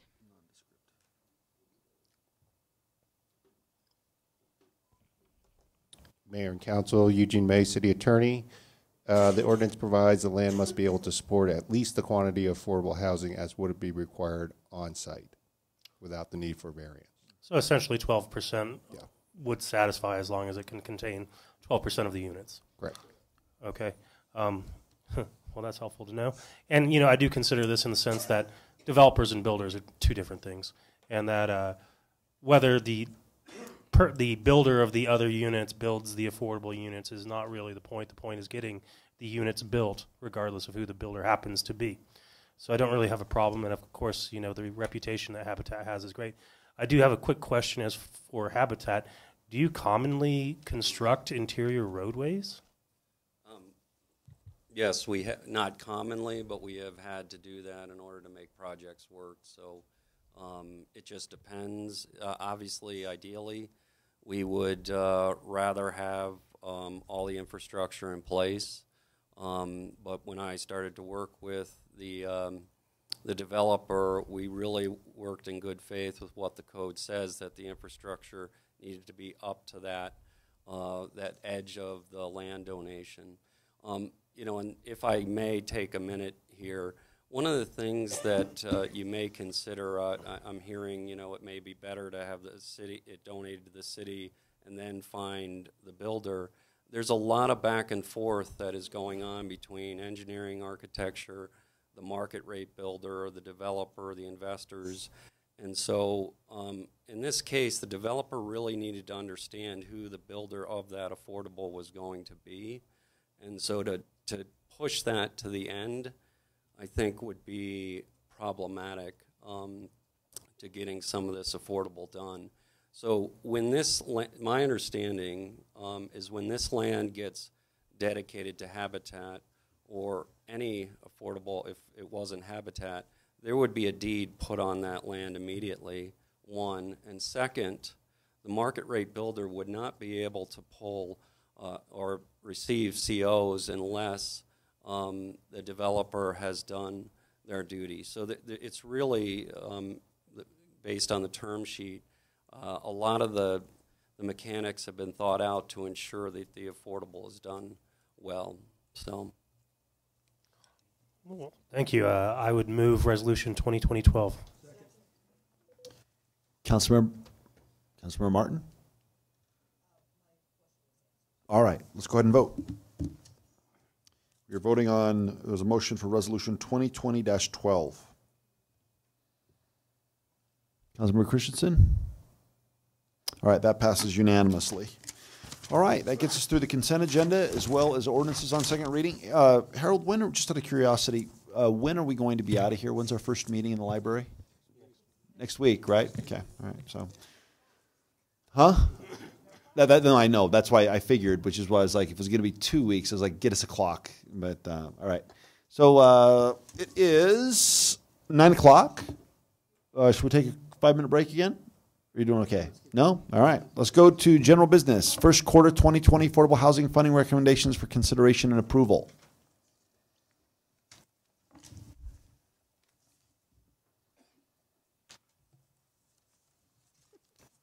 hidden under here. Okay, good evening, Mayor and Council. So tonight we are looking at um, the recommendations from the Housing and Human Services Advisory Board um, via recommendations of the Technical Review Group on funding for several different um, projects, affordable housing projects from the Affordable Housing Fund, as well as from the CDBG Fund, even though you're really going to be looking at and acting on the CDBG program um, next month in, uh, on the 20, February 25th meeting. Um, oh, this is going to be hard to, sorry. I pulled this together quickly. So this is attachment two in your packet, and it summarizes the different projects um, that we received applications for. So the first one is the Boulder County Housing Authority for the Kauffman Street project. Um, if you remember, that one um, has received tax credit funding from CHFA. Um, it is um, to do 73 total units, um, with a good portion of them, uh, 12, 15, 23 of the units um, at um, 50% AMI or below, 12 of the units at 30% AMI, and 50 units at 60% and below. Um, it does have some three bedroom units, um, but mostly ones and twos. Um, uh, they um, are also receiving other city funding to help with the parking garage that um, is a joint project with the LDDA. Um, they requested funding um, for the housing portion of it, and the Housing Advisory Board is recommending that the 2021 home funds that the city is um, eligible to receive would be um, given to this project as a grant. Um, they would also be eligible for about $200,000 in fee offsets from the Affordable Housing Fund.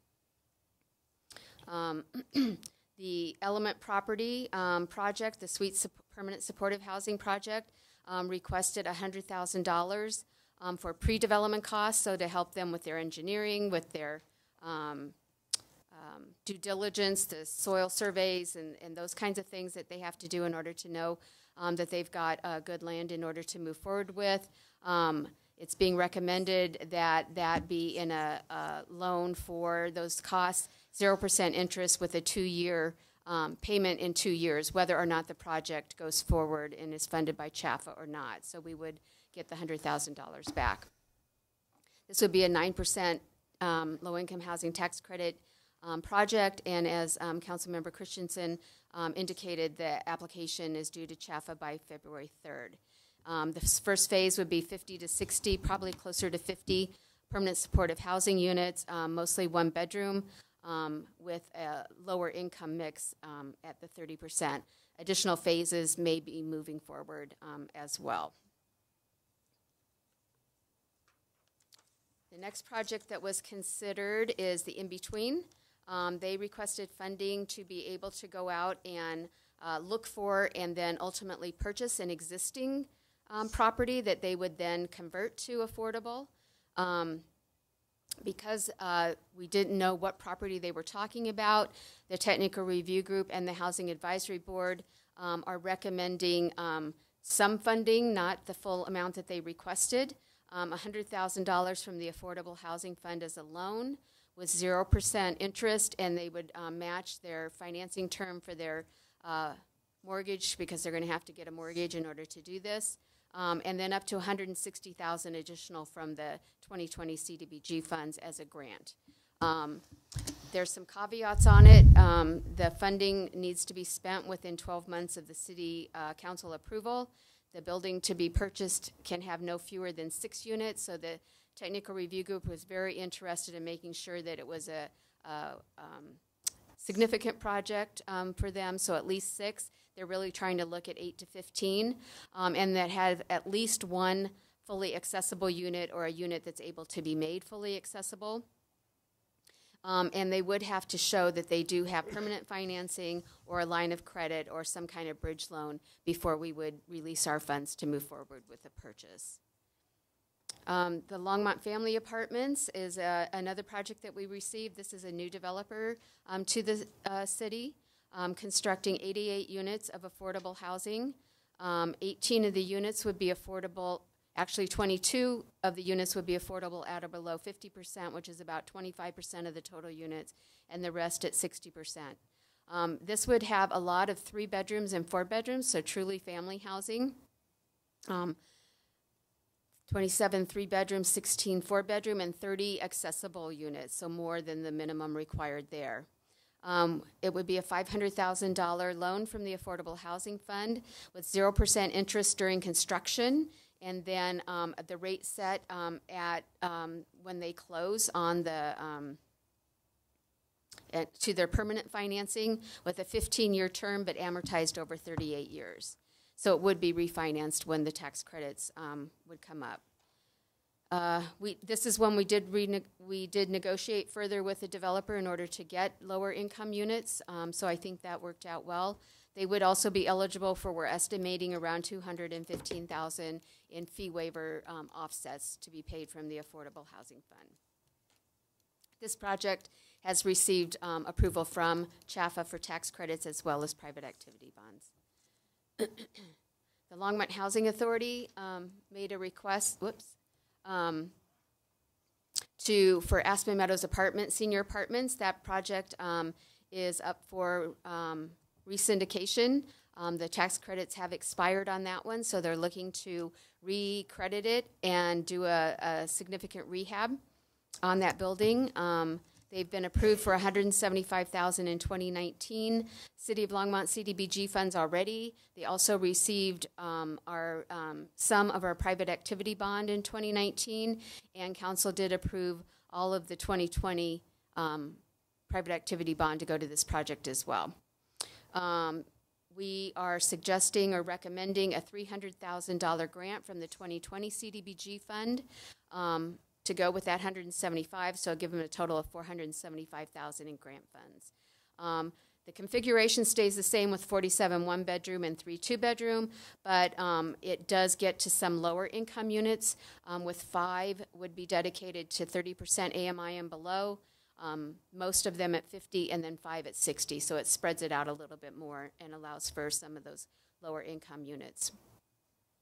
And then finally, senior housing options, which owns the Cinnamon Park um, assisted living um, facility, has got a little bit of land that they want to build a um, independent living, uh, 25 units for independent seniors. Um, they are going to be also submitting for tax credits in the February round. Um, we are recommending a $250,000 affordable housing fund loan, which would be at 0% interest for a 40 year term. It would be contingent on them being approved for the tax credits in this round. So if they don't get approved, then we don't give them the funding, obviously. Um, they would also be eligible for um, about 60,000 in offsets, we're estimating at this time. Um, the 25 units would all be accessible. Um, 21 of them would be one bedroom and four um, studios, um, three of the units at 30% AMI and nine at 40% and the rest at 50%. So all, excuse me, um, below 50% AMI. So I was hoping this would be a little bit easier to read, but again, it's um, in your packet. Um, so it just really lays out the funding that's being recommended and what funding source um, is being recommended to come from, as well as giving you um, information on um, the fund sources, so what we have available. So um, we are looking at um, allocating 1.425 million, including holding out some of those fee offsets um, from the uh, the 2020 Affordable Housing Fund. Um, we ab- have about 2.25 million available to us right now with carryover into from 2019 into 2020. The new funds anticipated in 2020. So that's going to leave us with about 800,000 available for the rest of 2020. Um, we don't think we need to do. We definitely don't need to do a funding application in this first quarter.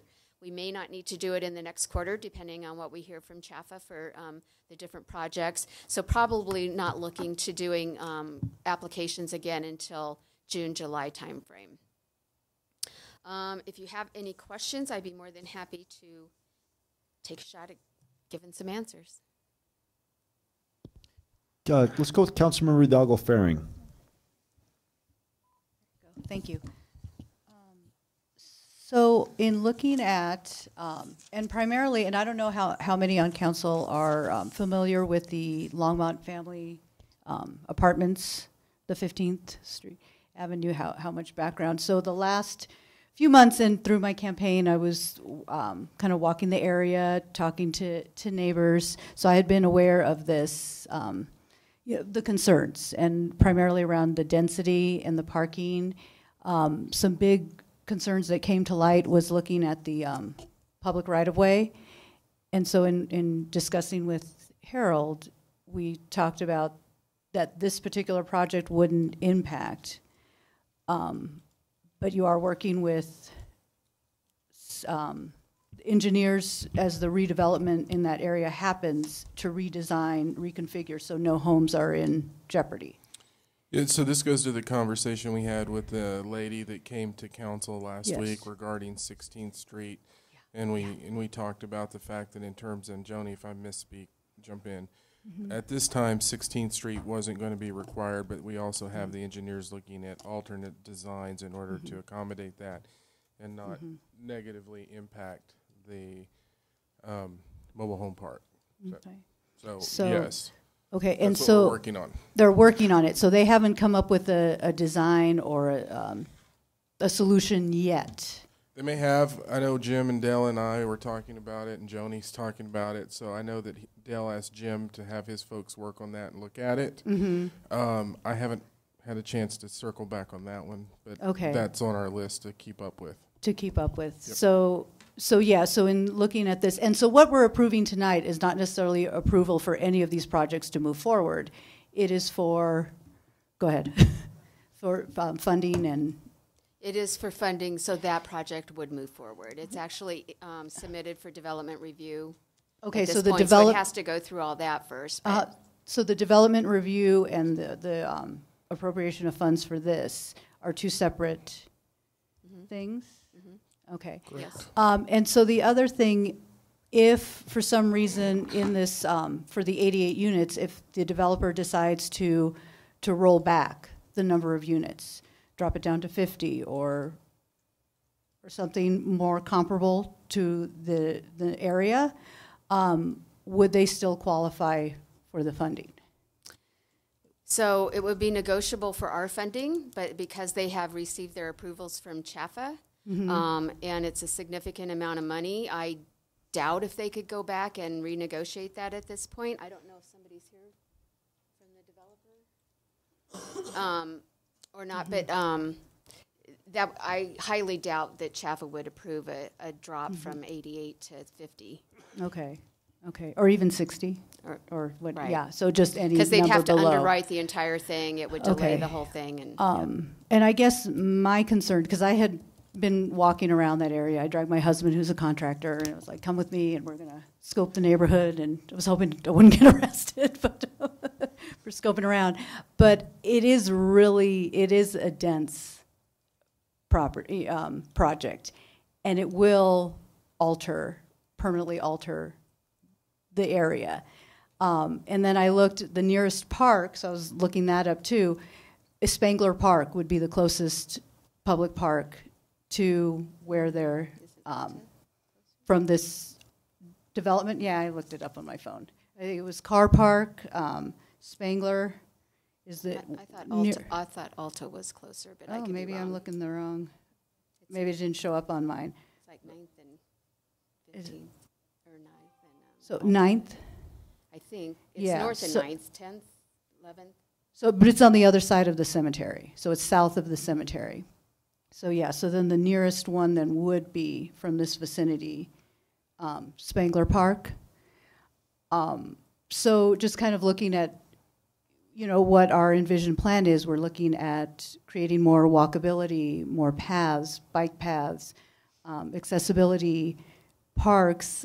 I just, I, I'm having a hard time uh, accepting this particular project or approval for this particular project to move forward um, until there are other, it seems like there, there are other things, including look, talking with engineers around the public right-of-way to ensure that people aren't displaced, um, looking at how we can build up the infrastructure in that area in regards to park and, and walkability, bike path. Um, there just seems to be like, there needs to be other things that happen first before we move through with this. So the funding will not be provided until they're ready to construct, which means they have gone through the development approval process, um, which takes all of those things that you had talked about into consideration. I know they've done a significant amount of work to reconfigure the buildings to have less of a, a- an impact um, on the neighborhood. Um, So that's some significant work they've done, but the developer needs to get their financing aligned in order to have some assurity of going through with the cost of the development process. um, And all that entails as well. So it's kind of a, it's a little bit of a chicken and egg thing of what comes first. From their standpoint, they have to have their financing aligned or set up or have some assurance around that in order to proceed into the development process. Um, But then most funding, well, no funding is going to happen unless they get their plans approved. Mhm. So there's some, I guess, confidence there on, on that end, that if it, if they don't make it through the development review to approval, So, nobody's going to give them any funding. Uh-huh, so, but if there is funding for this project to go through, is there guarantee that there, there will be, um, money as- put in place, or would they would be able to help us work with, um, park pathways? I mean, this is kind of like my, Well, um, that's all part of the development process. So they Okay. talk about what Yeah. greenways might be needed or pocket parks that are Mhm. needed on site, detention. I mean, that whole realm of things is all part of the development review process. And I think what we'll have to do is, um, we have a Parks and Greenway Master Plan that's really looking at what we have in terms of existing parks, where we have gaps within our system, and, and, and times all of that out in terms of how we make the public investment into, to that piece. Um, I'm trying to pull that map up, but that may be something Mhm. separate that we need to go over with you in terms of that piece, because that is a Mhm. different question that's guided by that planning document in terms of what we do and, and when we do those things. Mhm. Councilmember Christensen. Uh, I would, I would support all of these um, programs, I, uh, all of this funding, I think it's all a very good idea. I do, I know we're getting a little far off when, in discussing the, um, the um, 15th and Ash project, but I would, I, I do have a suggestion that I was thinking about the last few days, having to do with what you just said, Councilman uh, Hidalgo Fahring. Um, you know, we don't, the Envision Longmont plan is a guiding document. It is not a binding document. And, but it also suggests we create walkable neighborhoods, not drivable neighborhoods, walkable neighborhoods. And with that in mind, a path um, creates a much lower impact on a community and also a much more enjoyable uh, ameni- uh, um, part of a civic um, amenity than a street. And we don't really, we've gone for 150 years without a street that runs all the way through from 16th to Main. why not create a walking path along there, along that edge of the properties that everyone could enjoy? There's already one uh, on the edge of um, Mayor Bagley's property, and um, that's that's pleasant. People can hang around there and have lunch. It's not very wide, but it's pleasant, and it wouldn't have the nearly the effect of um, everything, and it could be rolled into the landscaping requirement that everybody already has. Instead of uh, working on a road that goes through to Main Street, how about a walking bike path that goes through to Main Street? Just a suggestion. Councilmember Peck. I move that we approve the projects proposed for the 2020 Affordable Housing Funding.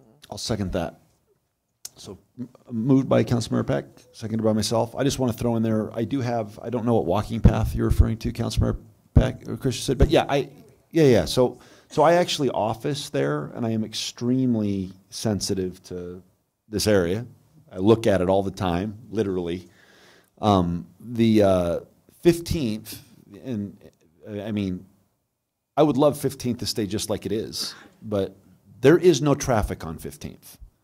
I walk every day with Drago to uh, get uh, to get Chipotle's, to get Five Guys. You can walk to the there's there's the there's the grocery store right across the street.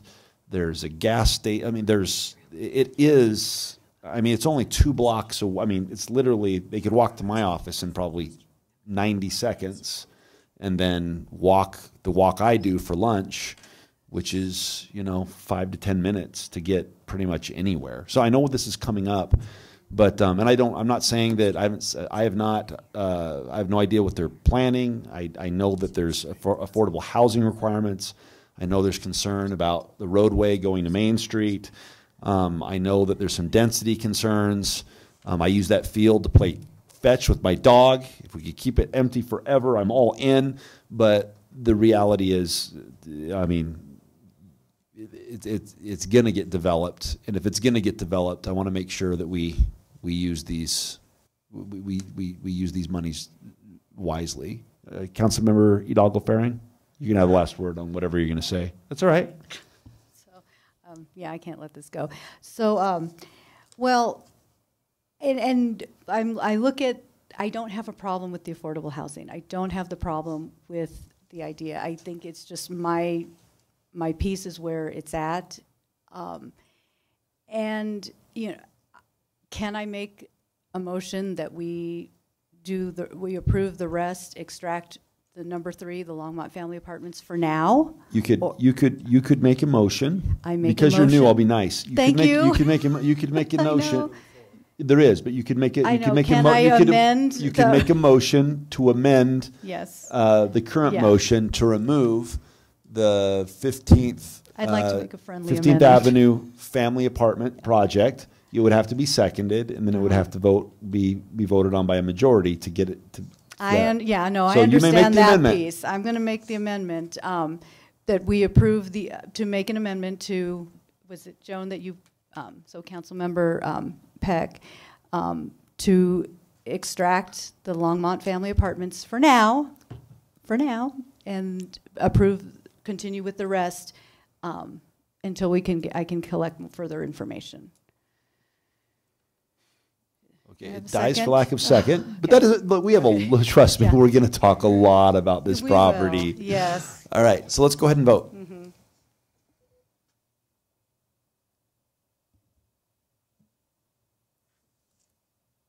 All right, that passes six to one with a very defiant but caring council member Hidalgo Fahring. That's that's that's why that's why we have ward. That's why we have wards. That's why we have wards. You're you're doing you're doing what you need to do for your peoples. Yeah, that's great. Good for you. Fahring is caring. There you go. That's right. They're gonna love you. All right. So I just- Um, let's move on to 2020 legislative update. I'm sorry, Kathy. Do you have something else? I was just going to thank the Housing Advisory Board and the Technical Review Group for all of their work during this. And I think you'll notice in the, uh, the information we put in the packet, there was a lot more detailed review of the financials and the project variables, so. And I- we the- tried the- to step it up a little bit. And thanks to you and the staff, my head hurts reading this. I, I had the I had the thought, oh my gosh! I, I mean, I helped. You know, I was involved in the ordinance ordinances and keeping this all straight and figuring out how much money we have left and what's coming in and what's not coming in and where our goals are and what we what's going to make us mad and not mad. Good job. that that was a feat. Impressive. All right, let's go on to the legislative update. Sandi Seader, Assistant City Manager in the flesh. Mayor Bagley, members of council, Sandi Seader, Assistant City Manager, and I'm bringing you your first stack of bills to take a look at today. There are 10 bills on this list, but I should mention to you that House Bill 20-1070 concerning the requirement that local governments interface with oil and gas operations compensate persons damaged by that interference was PI'd in committee yesterday. So that one is already gone. Don't, you don't need to take a position on that one. Uh, we can do this a couple ways. I can go through them and explain the different bills, or if you'd like to approve them as a batch based on the recommendations from from staff, uh, that would work well. Also, Councilmember Peck. Thank you. Sandy, could you read the titles of them for the people watching at home at least? so They'll Yes. know what we're voting on. yes, you bet. And the recommendations, you got it. Okay, so the first one, this is really the biggest batch of them because this is the first month of the legislature and we just kind of get going at this time. Uh, but House Bill 201006 concerning a creation of a statewide program of early childhood mental health con- consultation. Um, because this is a council work plan priority, the staff recommends that the council supports um, 20-1006. House Bill 20-1011 concerning the creation of the Helping Others Manage Early Childhood Act, similarly, um, does uh, funds a public awareness campaign for early childhood education and particularly home care, um, because this again is something that the that supports the council work plan for early care and education. We recommend that the city council support 1011. House Bill 2010-45, considering the stabilization of state funding for energy efficiency improvement programs. Um, what this bill basically does is it it uh, refunds a lot of the different programs that the state cut over the last few years, including weatherization programs and such. Because this supports the city's sustainability programs and goals, we recommend that the ha- that the city council support 1045. 1070 is the one that was um, PI'd forget what that stands for again. but killed in committee, essentially. Postponed indefinitely. There we go. Um, House Bill 20 1097 concerning the ability to use water that has been adj- adjudicated for municipal use in interconnected treated municipal water supply systems, even if the historical consumptive use of the water right has been quantified in previous change of water right. This would basically protect some of the water rights that we have today and allow us not to have to go to court every single time. Um, so, because this is supportive of our current water rights, we are we are recommending that the city council supports 1097. House Bill 201151 concerning the expansion of authority of regional transportation improvements. This basically authorizes um, training plans, tr- transportation planning organizations to exercise the powers of a regional transportation authority. It's Sort of unclear what this might mean in the long run, um, but essentially because it would give some more powers in some more places, um, and transportation is a as a um, priority to the city council. We recommend that you support 1151. Senate Bill 20-10 concerning the repeal of prohibition of local government regulation on plastics. This is a bill we thought we would see last year, but essentially right now, if you wanted to regulate plastics in Longmont, you cannot. There's a state preemption. Um, against that, this would remove that preemption so that you have more local control. So supports local control, supports environmental policies. So the so the staff recommends City Council support Senate Bill 10. Senate Bill 20-44 concerning the allocation of sales and use tax revenue to provide additional funding for state, county, and municipal roads and bridge projects. So what this does is this basically pulls from other areas yet unknown and unidentified and, be, and is able to put that into transportation projects. So we would support that because cities would certainly get a portion of that, but it's sort of unclear where that money would come from because there's no additional revenue source. Nonetheless, we, we uh, certainly understand the priority of transportation to the city council, and staff recommends that we support 44. Senate Bill 20-55 concerning the expansion of market mechanisms for further development of recycling. As you all know, there's been issues with marketing recycling um, and being able to actually get payback and make that economically viable. So this would really do some additional, this would provide for additional research on market studies for recycling markets to see if there's other places that we could um, hopefully sell our recycled products to. uh, because it supports the sustainability goals for waste reduction and diversion. Um, the staff recommends that council supports Senate Bill 55. And last but not least, Senate Bill 20 94 concerning the imposition of additional plug in electric motor vehicle registration fees. This bill would basically say that there would be an additional registration fee for electric vehicles, since that's not the direction that we think electric vehicles should go and might be a disincentive to people actually getting electric vehicles. Staff is recommending that City Council oppose Senate Bill 94. There are a couple more that hit over the last week that you'll be seeing next week, including a brand new one that we just saw today on the Regional Transportation District um, and some additional regulations around their operation, including auditing and some other things. So you'll be seeing that one next week. Councilmember Martin. Councilmember Martin. Thank you, Mayor Bagley. I move that the council support the recommendations of the staff on all the bills presented. Been moved and seconded. Nobody's in the queue. Let's vote.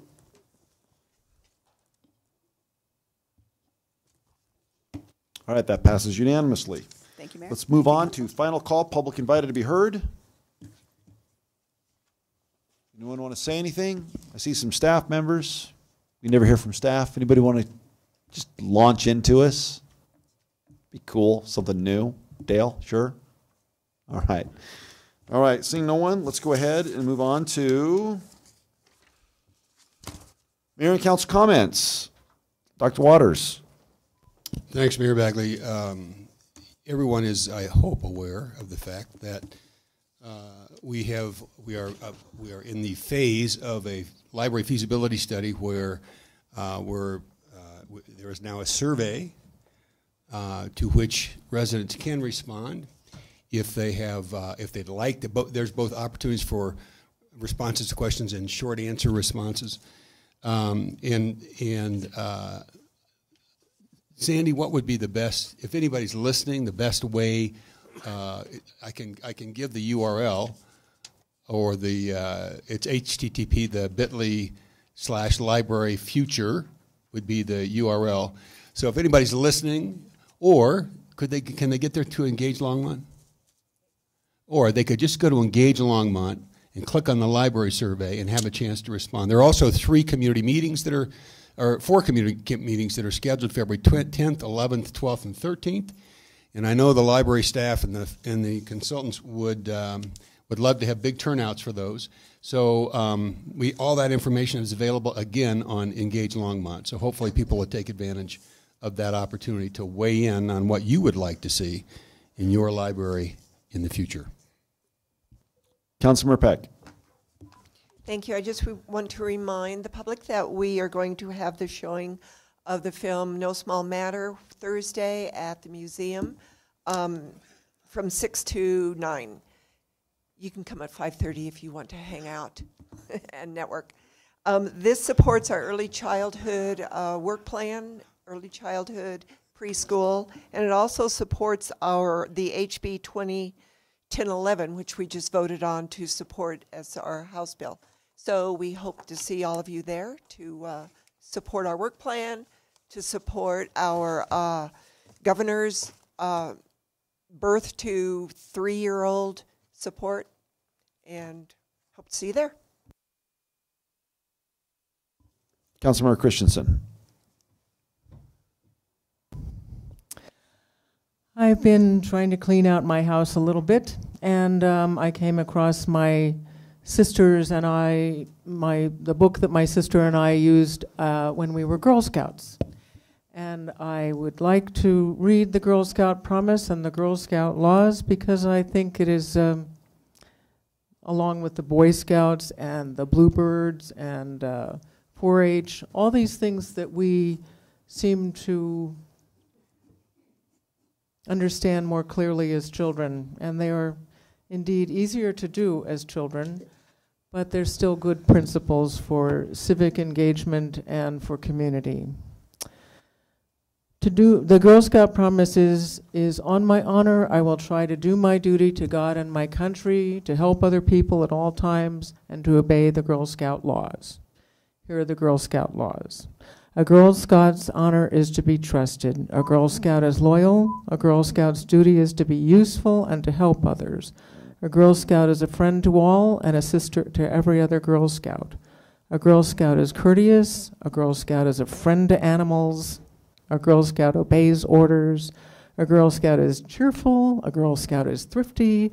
A Girl Scout is clean in thought, word, and deed.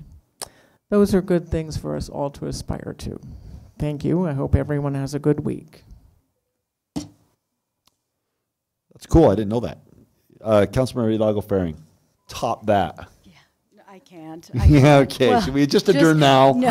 Okay, no. You know what? I had, I attended three board meetings since the last time we met. El Comite, the museum, and um, today the um, youth council. And so it was. I was thoroughly impressed. I was thoroughly impressed with the museum. Um, they're working on um, their master development plan. It's very extensive, very thorough, and they're um, hoping to get that going, uh, launching it in or I'm sorry, the idea. So, the part of their master plan, the um, idea, the inclusivity, diversity, equity, and accessibility initiative. That's they're hoping to launch that in February. So I've been able to kind of offer some input and and work with them. So I hope to continue that um, that dialogue um, in how to to kind of meet the diverse needs of our community uh, th- through the museum. Um, they recently had an opening for the Terry Maker Because the World is Round exhibit. Um, I think it starts tomorrow. Their um, opening was this past Friday. And they did qualify for um, the S- SCFD, um, the Scientific and, and Cultural Facilities District um, Tier 2 qualifications. The Tier 1 is, you know, it, it pretty much encompasses um, Denver Museum Art, the Botanical Garden, so the huge entities. So for us to gain that tier two, that's very exciting as far as um, funding goes. So, so check them out. Check out their exhibits. They're doing great work. Um, El Comité will be having their fundraiser on March 21st, I believe was the date that they gave, Saturday. We were playing around with looking at a Friday in April, so we might go that route as well. But they are collecting um, donations for baskets, council. So, anyone wants to contribute to a basket. Um, to assist with their funding. And the Youth Council, we got to hear them today, and they were talking about projects that they were um, that they're promoting this this year, um, and looking at and so something that they had asked of me, just really finding ways to connect with initiatives and task force that we're doing um, in the city. So I'm thinking the Climate Action Task Force in regards to their environmental sustainability, um, in looking at mental health and positivity. What other SAM supporting action for mental health? So there's ways that we can work in um, a, and put put them to work in our community and give them opportunities to come speak and and practice their um, leadership skills. So that, that's all I have to say. Have a great week. Councilmember Martin. Thank you. I'd just like to say that uh, although I have nothing against the Girl Scouts in particular, that I think once um, uh, one attains a certain age, if you're not in the military, um, obeying orders is something one should think twice about. Thanks. Not me. I always do what I'm told. Uh, that was a joke, by the way. All right. Um, anybody else? Okay, Harold, do you have anything? Actually, I do. So I, I was correct on the road piece, just so everyone knows. Um, they are that has to be submitted, and they're working in the design review. The piece I did want to address is David Bell is that is the an area of need that was in the plan, and David is working with some other property owners um, to to figure out a way to to do a park. It's actually going to be really expensive, so they're trying to work through the issues. So he is engaged in that conversation for the broader neighborhood. So I just wanted to pass that around, and then I will get with you, Councilmember Fahring on the Parks and Rec and Trails Master Plan. Eugene. No comments, Mayor. All right. Anybody opposed to uh, an adjournment? All right, it's been moved. I'll second it. All in favor, say aye. Aye. We're adjourned.